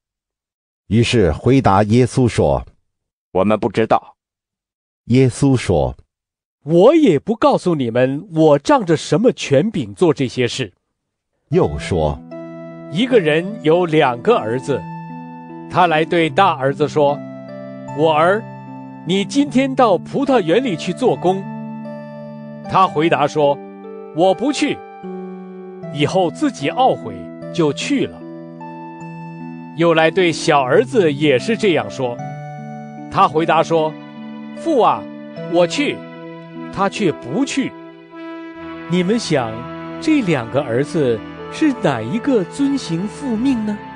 他们说：“大儿子。”耶稣说：“我实在告诉你们，税吏和娼妓倒比你们先进神的国，因为约翰遵着义路到你们这里来，你们却不信他；税吏和娼妓倒信他，你们看见了，后来还是不懊悔去信他。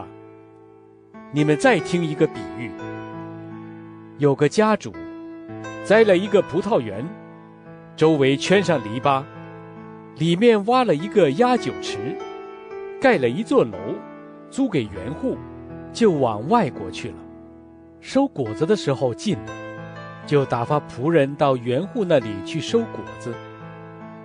园户拿住仆人，打了一个，杀了一个，用石头打死一个。主人又打发别的仆人去，比先前更多，园户还是照样待他们。后来打发他的儿子到他们那里去，意思说，他们必尊敬我的儿子。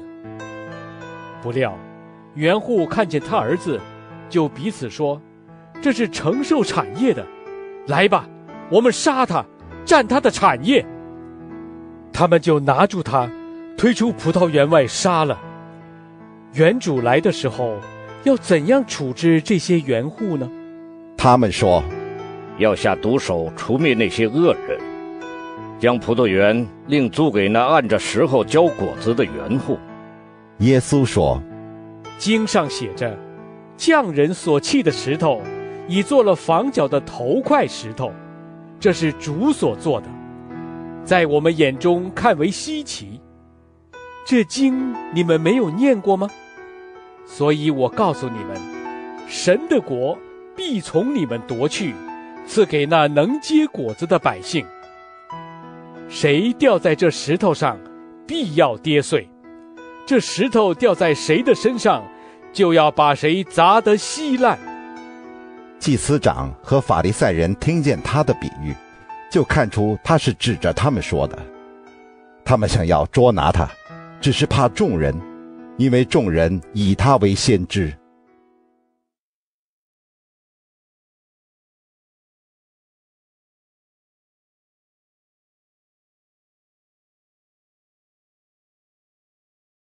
马太福音第二十二章，耶稣又用比喻对他们说：“天国好比一个王为他儿子摆设娶亲的筵席，就打发仆人去，请那些被召的人来赴席，他们却不肯来。王又打发别的仆人说：‘你们告诉那被召的人，我的筵席已经预备好了。’”牛和肥畜已经宰了，各样都齐备，请你们来复习。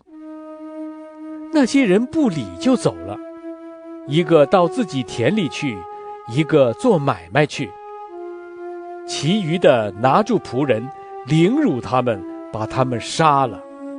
王就大怒，发兵除灭那些凶手，烧毁他们的城。于是对仆人说。喜筵已经齐备，只是所召的人不配，所以你们要往岔路口上去，凡遇见的都召来复习。那些仆人就出去到大路上，凡遇见的，不论善恶，都照聚了来，筵席上就坐满了客。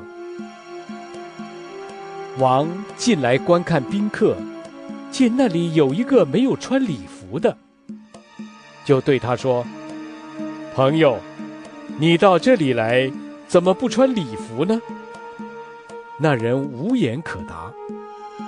于是王对使唤的人说：“捆起他的手脚来，把他丢在外面的黑暗里，在那里必要哀哭切齿了，因为被召的人多，选上的人少。”当时法利赛人出去。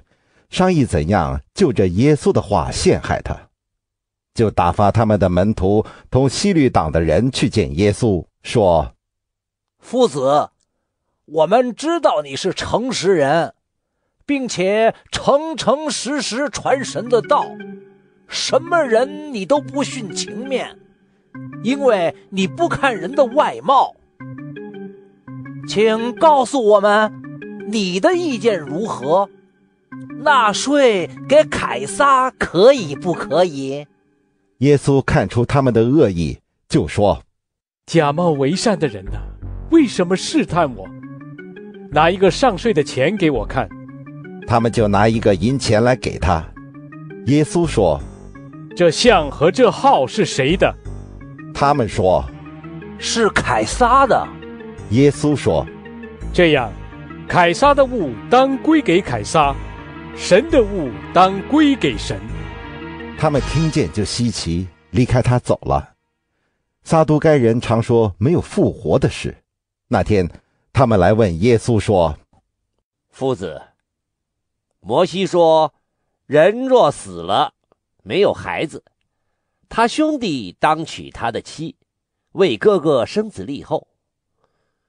从前在我们这里有弟兄七人，第一个娶了妻，死了，没有孩子，撇下妻子给兄弟；第二、第三，直到第七个都是如此。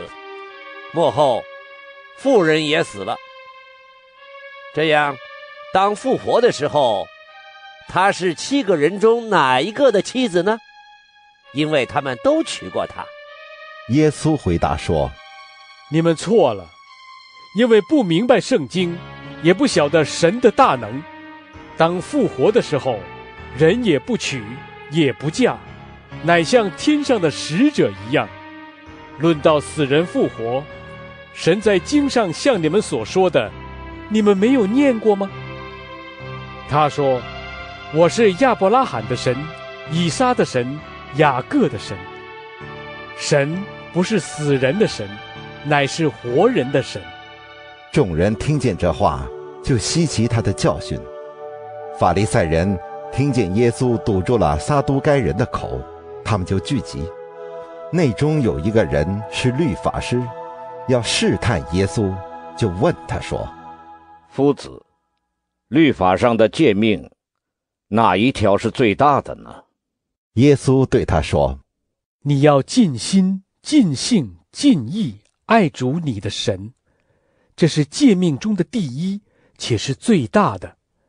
其次也相仿，就是要爱人如己。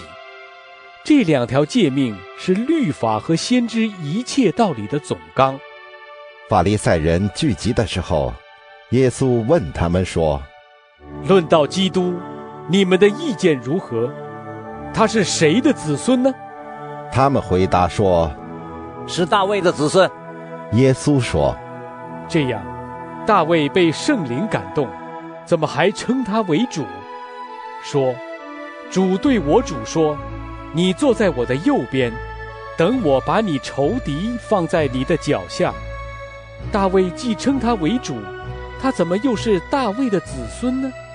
他们没有一个人能回答一言。从那日以后，也没有人敢再问他什么。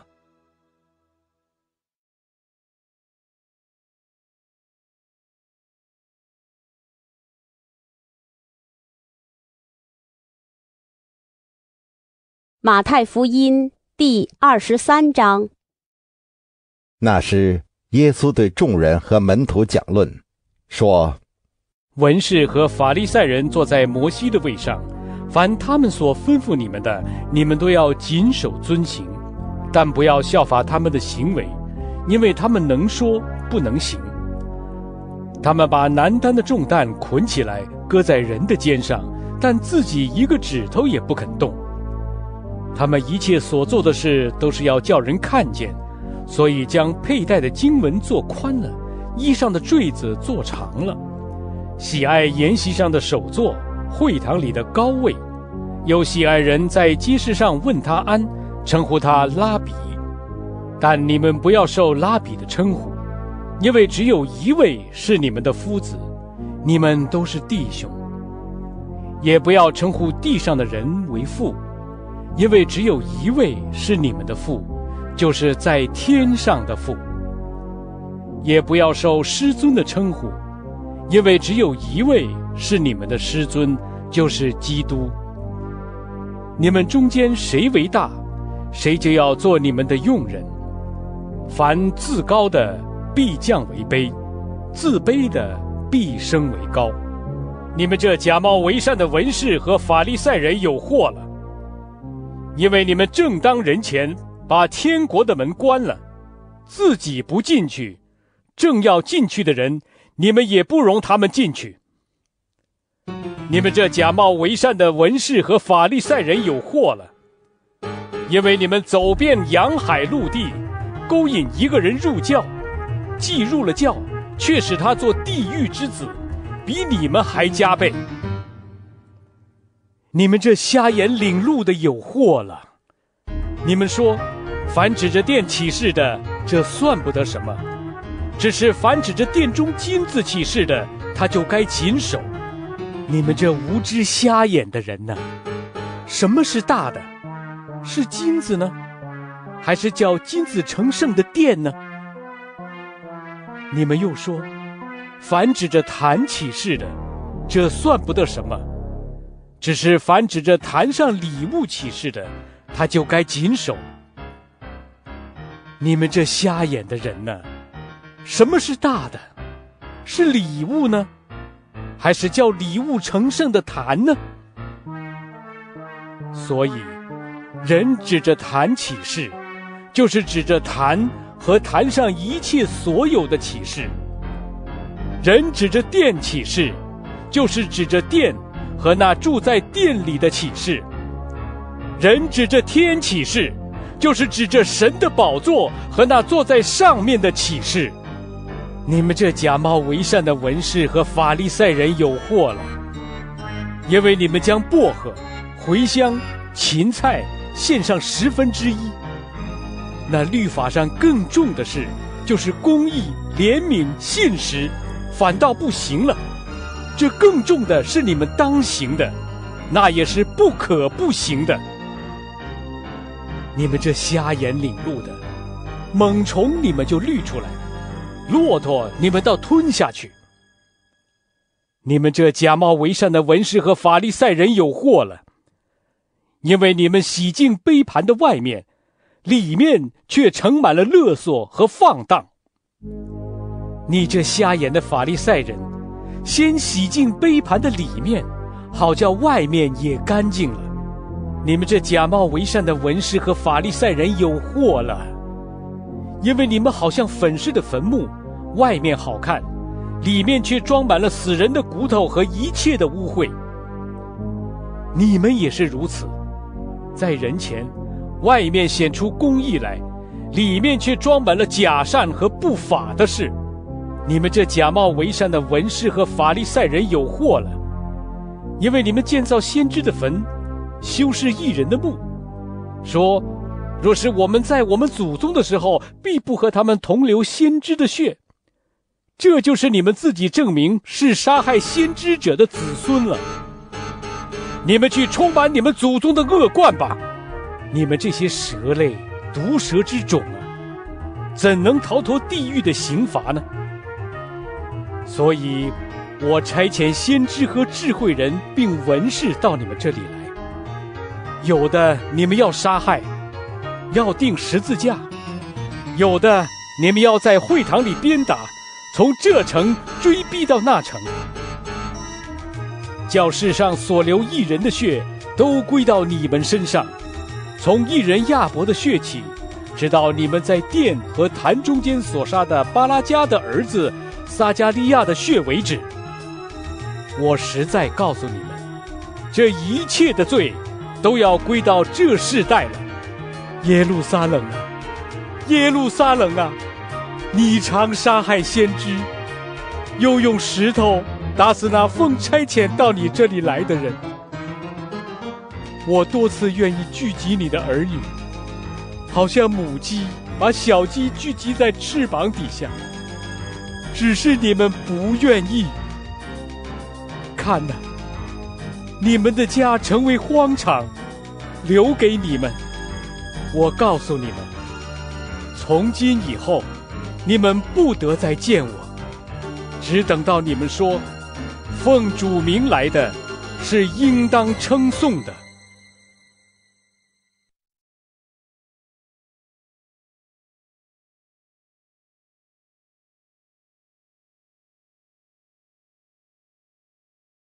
马太福音第二十四章。耶稣出了圣殿，正走的时候，门徒进前来，把殿宇指给他看。耶稣对他们说：“你们不是看见这殿宇吗？我实在告诉你们，将来在这里，没有一块石头留在石头上不被拆毁了。”耶稣在橄榄山上坐着。门徒暗暗的来说：“请告诉我们，什么时候有这些事？你降临和世界的末了有什么预兆呢？”耶稣回答说：“你们要谨慎，免得有人迷惑你们。因为将来有好些人冒我的名来，说我是基督，并且要迷惑许多人。”你们也要听见打仗和打仗的风声，总不要惊慌，因为这些事是必须有的，只是末期还没有到。民要攻打民，国要攻打国，多处必有饥荒、地震，这都是灾难的起头。那时。人要把你们陷在患难里，也要杀害你们。你们又要为我的名被万民恨恶。那时，必有许多人跌倒，也要彼此陷害，彼此恨恶。且有好些假先知起来，迷惑多人。只因不法的事增多，许多人的爱心。才渐渐冷淡了。唯有忍耐到底的，必然得救。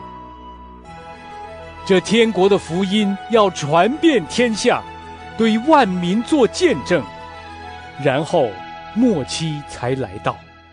你们看见先知但以理所说的那行毁坏可憎的站在圣地，读这经的人需要会意。那时，在犹太的，应当逃到山上；在房上的，不要下来拿家里的东西；在田里的，也不要回去取衣裳。当那些日子，怀孕的和奶孩子的有祸了。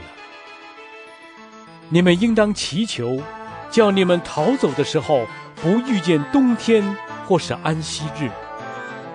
因为那时必有大灾难。从世界的起头直到如今，没有这样的灾难，后来也必没有。若不减少那日子，凡有血气的，总没有一个得救的。只是为选民，那日子必减少了。那时，若有人对你们说：“基督在这里。”或说基督在那里，你们不要信，因为假基督、假先知将要起来，显大神迹、大奇事。倘若能行，连选民也就迷惑了。看呐，我预先告诉你们了。若有人对你们说：“看呐，基督在旷野里”，你们不要出去。或说：“看呐，基督在内屋中，你们不要信。闪电从东边发出，直照到西边。人子降临也要这样。尸首在哪里，鹰也必聚在那里。那些日子的灾难一过去，日头就变黑了，月亮也不放光，众星。”要从天上坠落，天势都要震动。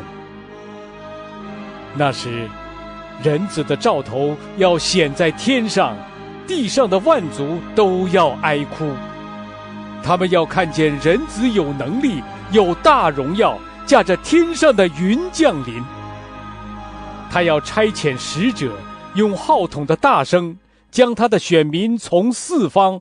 从天这边到天那边都招聚了来，你们可以从无花果树学个比方。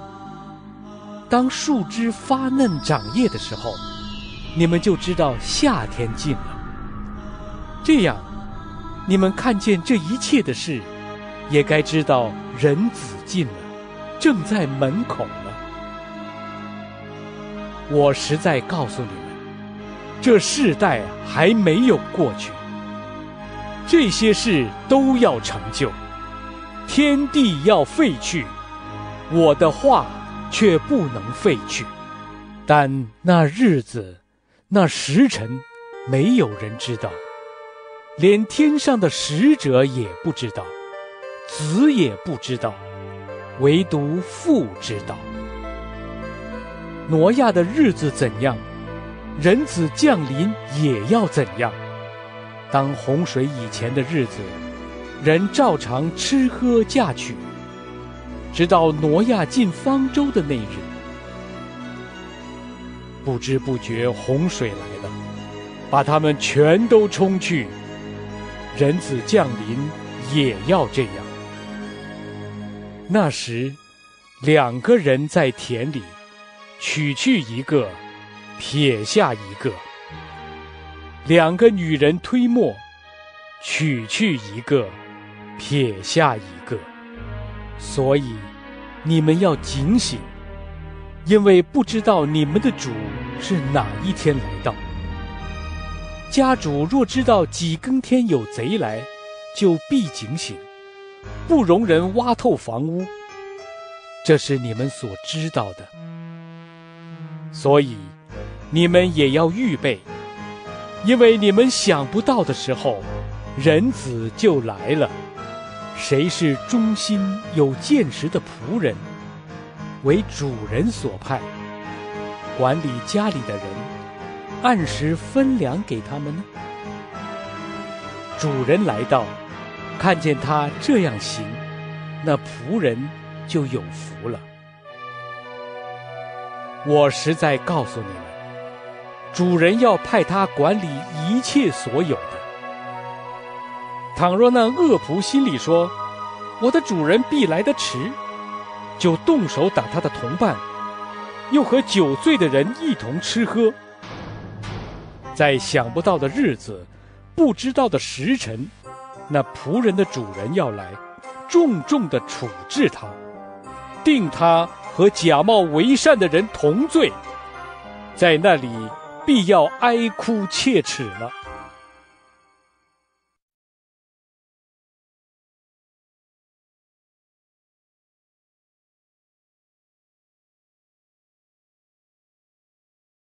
马太福音第二十五章。那时，天国好比十个童女拿着灯出去迎接新郎。其中有五个是愚拙的，五个是聪明的。愚拙的拿着灯，却不预备油；聪明的拿着灯，又预备油在器皿里。新郎迟延的时候。他们都打盹儿睡着了。半夜有人喊着说：“新郎来了，你们出来迎接他。”那些童女就都起来收拾灯。愚拙的对聪明的说：“请分点油给我们，因为我们的灯要灭了。”聪明的回答说：“恐怕不够你我用的，不如你们自己到卖油的那里去买吧。”他们去买的时候。新郎到了，那预备好了的，同他进去坐席，门就关了。其余的童女随后也来了，说：“主啊，主啊，给我们开门。”他却回答说：“我实在告诉你们，我不认识你们。所以你们要警醒，因为那日子，那时辰。”你们不知道，天国又好比一个人要往外国去，就叫了仆人来，把他的家业交给他们，按着个人的才干给他们银子，一个给了五千，一个给了两千，一个给了一千，就往外国去了。那领五千的随即拿去做买卖，另外赚了五千。那领两千的也照样另赚了两千。但那领一千的去掘开地，把主人的银子埋藏了。过了许久，那些仆人的主人来了，和他们算账。那领五千银子的又带着那另外的五千来说：“主啊，你交给我五千银子，请看，我又赚了五千。”主人说：“好，你这又良善又忠心的仆人，你在不多的事上有忠心，我要把许多事派你管理，可以进来享受你主人的快乐。”那领两千的也来说：“主啊，你交给我两千银子，请看，我又赚了两千。”主人说：“好。”你这又良善又忠心的仆人，你在不多的事上有忠心，我要把许多事派你管理，可以进来享受你主人的快乐。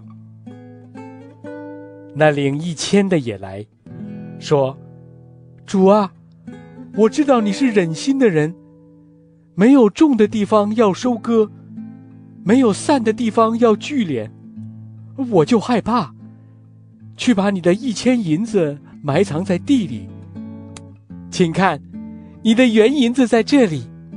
主人回答说：“你这又饿又懒的仆人，你既知道我没有种的地方要收割，没有散的地方要聚敛，就当把我的银子放给兑换银钱的人，到我来的时候，可以连本带利收回。”夺过他这一千来，给那有一万的，因为凡有的，还要加给他，叫他有余；没有的，连他所有的也要夺过来，把这无用的仆人丢在外面黑暗里，在那里必要哀哭切齿了。当人子在他荣耀里，同着众天使降临的时候。要坐在他荣耀的宝座上，万民都要聚集在他面前。他要把他们分别出来，好像牧羊的分别绵羊、山羊一般，把绵羊安置在右边，山羊在左边。于是，王要向那右边的说：“你们这蒙我父赐福的。”可来承受那创世以来为你们所预备的国，因为我饿了，你们给我吃；渴了，你们给我喝；我做客旅，你们留我住；我赤身露体，你们给我穿；我病了，你们看顾我；我在监里，你们来看我。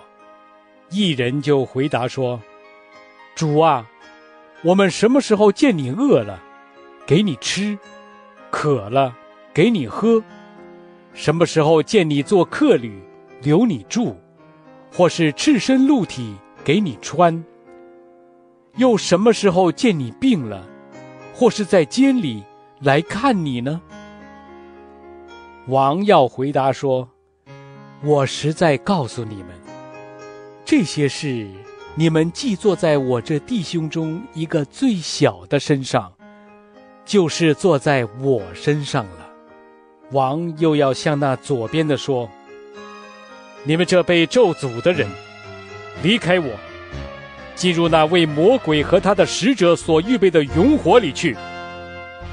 因为我饿了，你们不给我吃；渴了，你们不给我喝。我做客旅。”你们不留我住，我赤身露体，你们不给我穿；我病了，我在监里，你们不来看顾我。他们也要回答说：“主啊，我们什么时候见你饿了，或渴了，或做客旅，或赤身露体，或病了，或在监里，不伺候你呢？”王要回答说：“我实在告诉你们。”这些事，你们既不坐在我这弟兄中一个最小的身上，就是不坐在我身上了。这些人要往永刑里去，那些艺人要往永生里去。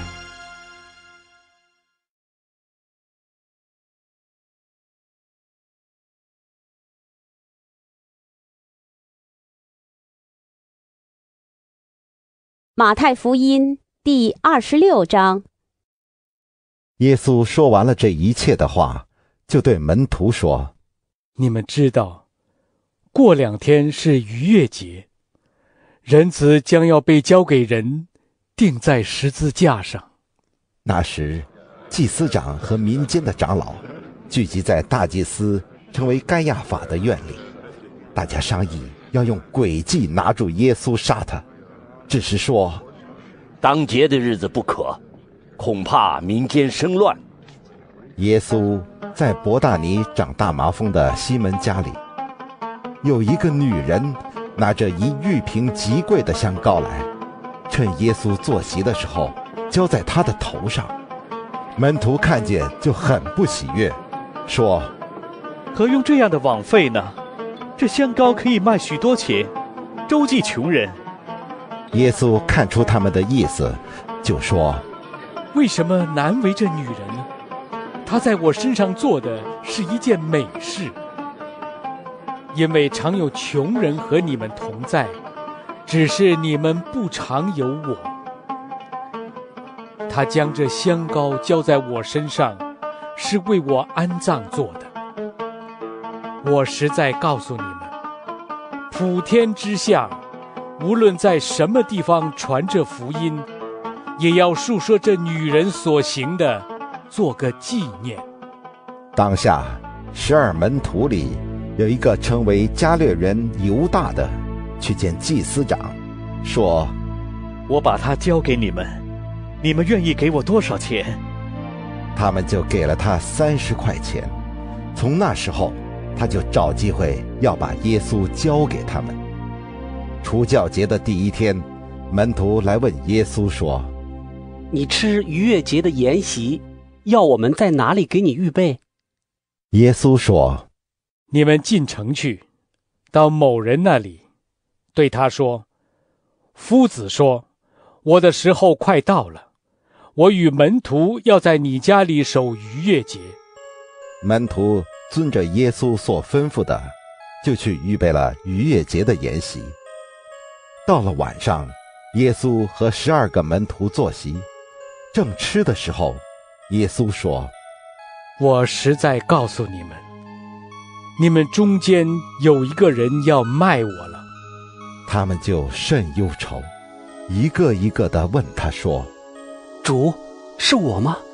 耶稣回答说：“同我站守在盘子里的，就是他要卖我。”人子必要去世，正如经上指着他所写的。但卖人子的人有祸了，那人不生在世上倒好。卖耶稣的犹大问他说：“拉比，是我吗？”耶稣说：“你说的是。”他们吃的时候，耶稣拿起饼来，祝福，就掰开递给门徒，说。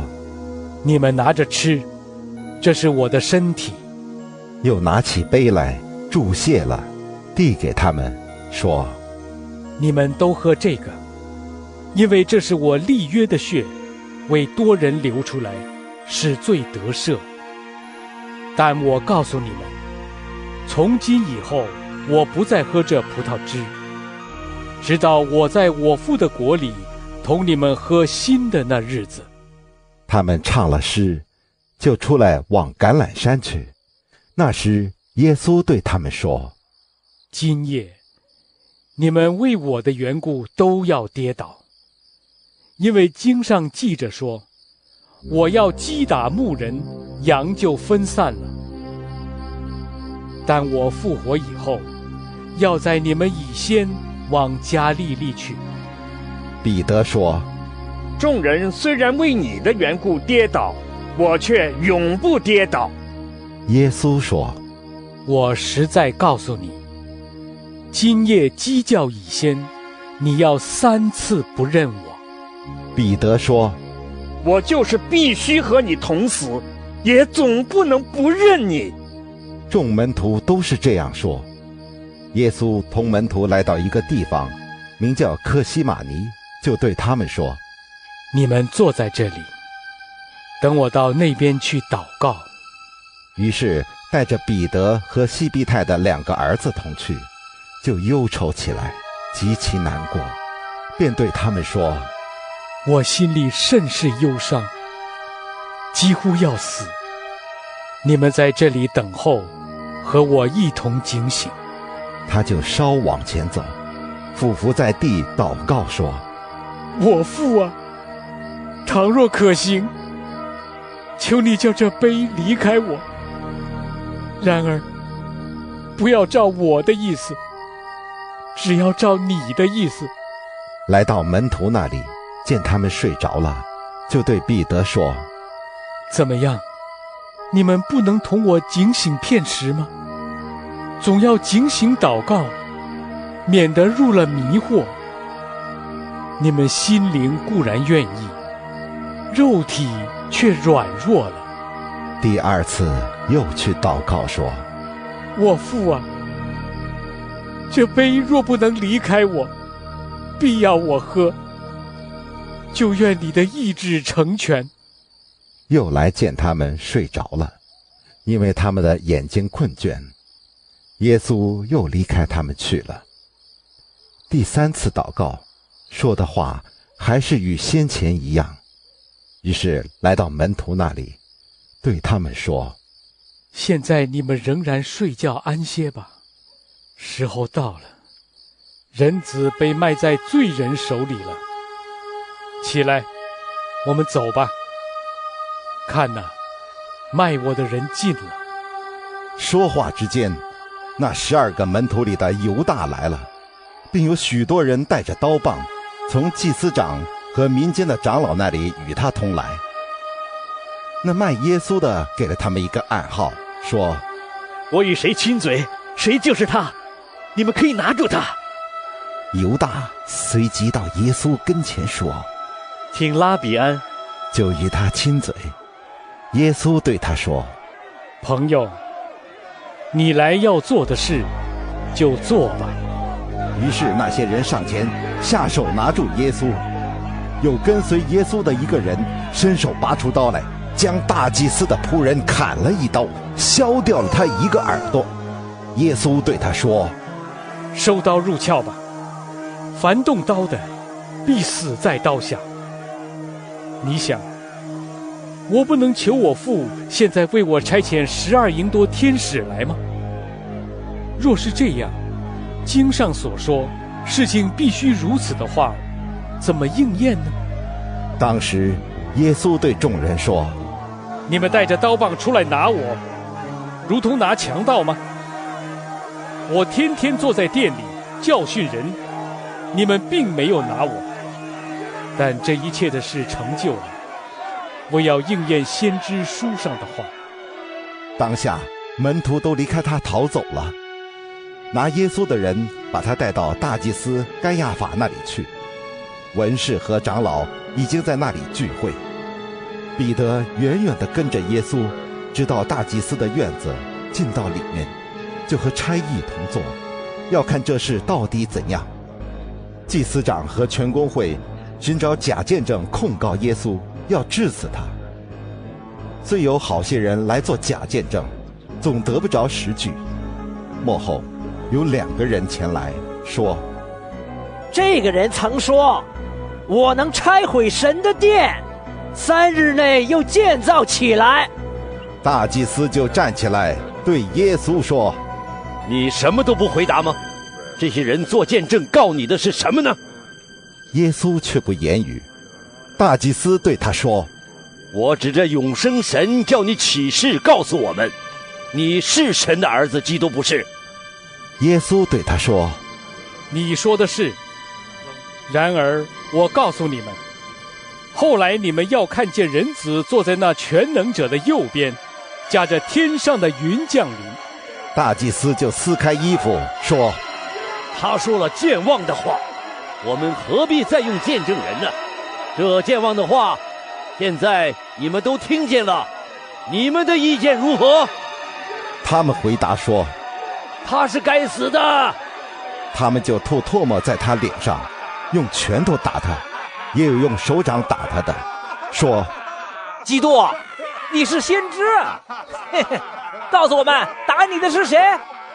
彼得在外面院子里坐着，有一个使女前来说：“你素来也是同那加利利人耶稣一伙的。”彼得在众人面前却不承认，说：“我不知道你说的是什么。”既出去到了门口，又有一个使女看见他，就对那里的人说：“这个人也是同拿撒勒人耶稣一伙的。”彼得又不承认，并且起誓说。我不认得那个人。过了不多的时候，旁边站着的人前来对彼得说：“你真是他们一党的，你的口音把你露出来了。”彼得就发咒起誓的说：“我不认得那个人。”立时鸡就叫了。彼得想起耶稣所说的话：“鸡叫已现，你要三次不认我。”他就出去痛哭。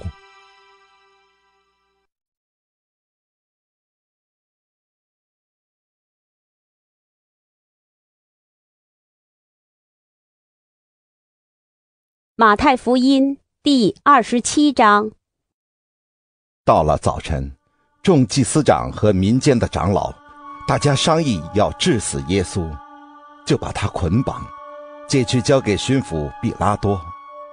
这时候，卖耶稣的犹大看见耶稣已经定了罪，就后悔，把那三十块钱拿回来给祭司长和长老，说。我卖了无辜之人的血，是有罪了。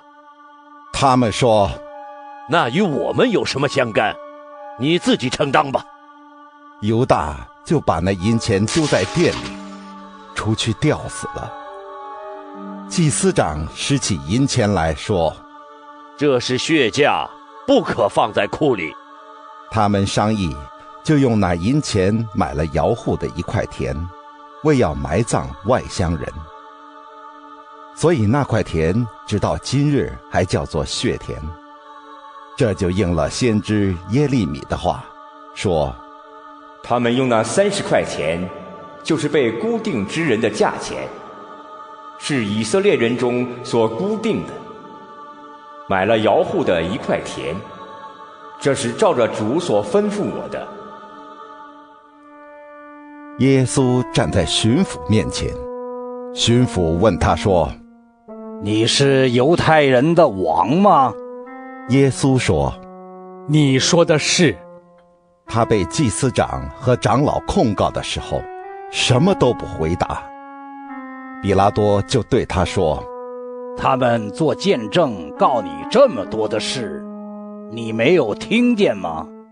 耶稣仍不回答，连一句话也不说，以致巡抚甚觉稀奇。巡抚有一个常例，每逢这节期，随众人所要的，释放一个囚犯给他们。当时有一个出名的囚犯叫巴拉巴，众人聚集的时候，比拉多就对他们说：“你们要我释放哪一个给你们？是巴拉巴呢，是称为基督的耶稣呢？”巡抚原知道。他们是因为嫉妒才把他借了来。正坐堂的时候，他的夫人打发人来说：“这一人的事你一点不可管，因为我今天在梦中为他受了许多的苦。”祭司长和长老挑唆众人，求释放巴拉巴，除灭耶稣。巡抚对众人说：“这两个人。”你们要我释放哪一个给你呢？他们说：“巴拉巴。”比拉多说：“这样，那成为基督的耶稣，我怎么办他呢？”他们都说：“把他钉十字架。”巡抚说：“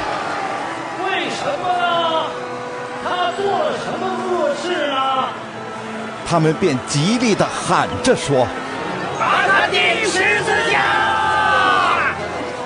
比拉多见说也无济于事，反要生乱，就拿水在众人面前洗手，说：“流着一人的血，罪不在我，你们承担吧。”众人都回答说：“他的血归到我们和我们的子孙身上。”于是比拉多释放巴拉巴给他们，把耶稣鞭打了，交给人钉十字架。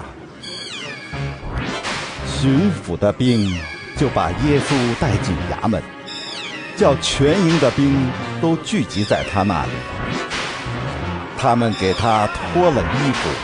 穿上一件朱红色袍子，用荆棘编做冠冕，戴在他头上，拿一根苇子放在他右手里，跪在他面前，戏弄他说：“恭喜啊，犹太人的王啊！”又吐唾沫在他脸上，拿苇子打他的头，戏弄完了。就给他脱了袍子，仍穿上他自己的衣服，带他出去要钉十字架。他们出来的时候，遇见一个古利奈人，名叫西门，就勉强他同去，好背着耶稣的十字架。到了一个地方，名叫各个他，意思就是独楼地。兵丁拿苦胆调和的酒给耶稣喝，他尝了，就不肯喝。他们既将他钉在十字架上，就拈阄分他的衣服，又坐在那里看守他。在他头椅上安一个牌子，写着他的罪状，说：“这是犹太人的王耶稣。”当时。有两个强盗和他同定十字架，一个在右边，一个在左边。从那里经过的人讥诮他，摇着头说：“你这拆毁圣殿，三日又建造起来的，可以救自己吧？你如果是神的儿子，就从十字架上下来吧。”祭司长和文士并长老。也是这样戏弄他，说：“他救了别人，不能救自己。他是以色列的王，现在可以从十字架上下来，我们就信他。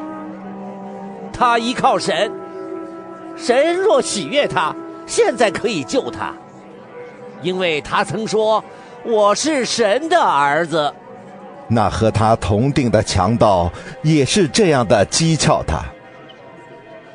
从五正到深处，遍地都黑暗。约在深处，耶稣大声喊着说：“伊利，伊利，拉玛撒巴哥大利。”就是说。我的神，我的神，为什么离弃我？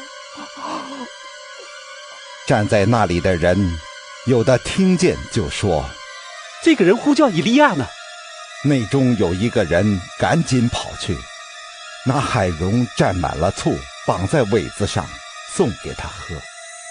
其余的人说：“且等着。”看以利亚来救他不来，耶稣又大声喊叫，气就断了。忽然，店里的幔子从上到下裂为两半，地也震动，磐石也崩裂，坟墓也开了。一睡圣徒的身体多有起来的。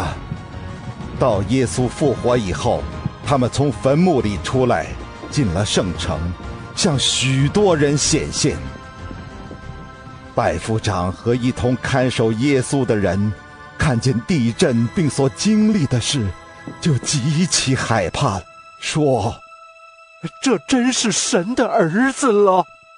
有好些妇女在那里远远的观看，他们是从加利利跟随耶稣来服侍他的。内中有莫大拉的玛利亚，又有雅各和约西的母亲玛利亚，并有西庇太两个儿子的母亲。到了晚上，有一个财主名叫约瑟，是亚利马太来的，他也是耶稣的门徒。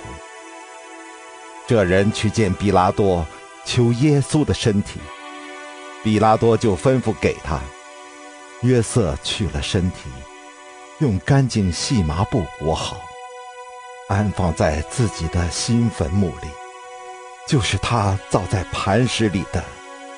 他又把大石头滚到墓门口，就去了。有莫大拉的玛利亚和那个玛利亚在那里，对着坟墓坐着。次日，就是预备日的第二天，祭司长和法利赛人聚集，来见比拉多，说：“大人，我们记得那诱惑人的还活着的时候，曾说。”三日后我要复活，因此请吩咐人将坟墓把守妥当，直到第三日，恐怕他的门徒来把他偷了去，就告诉百姓说他从死里复活了。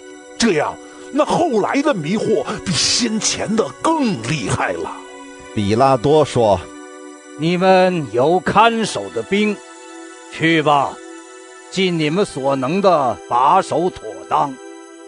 他们就带着看守的兵童去，封了石头，将坟墓把守妥当。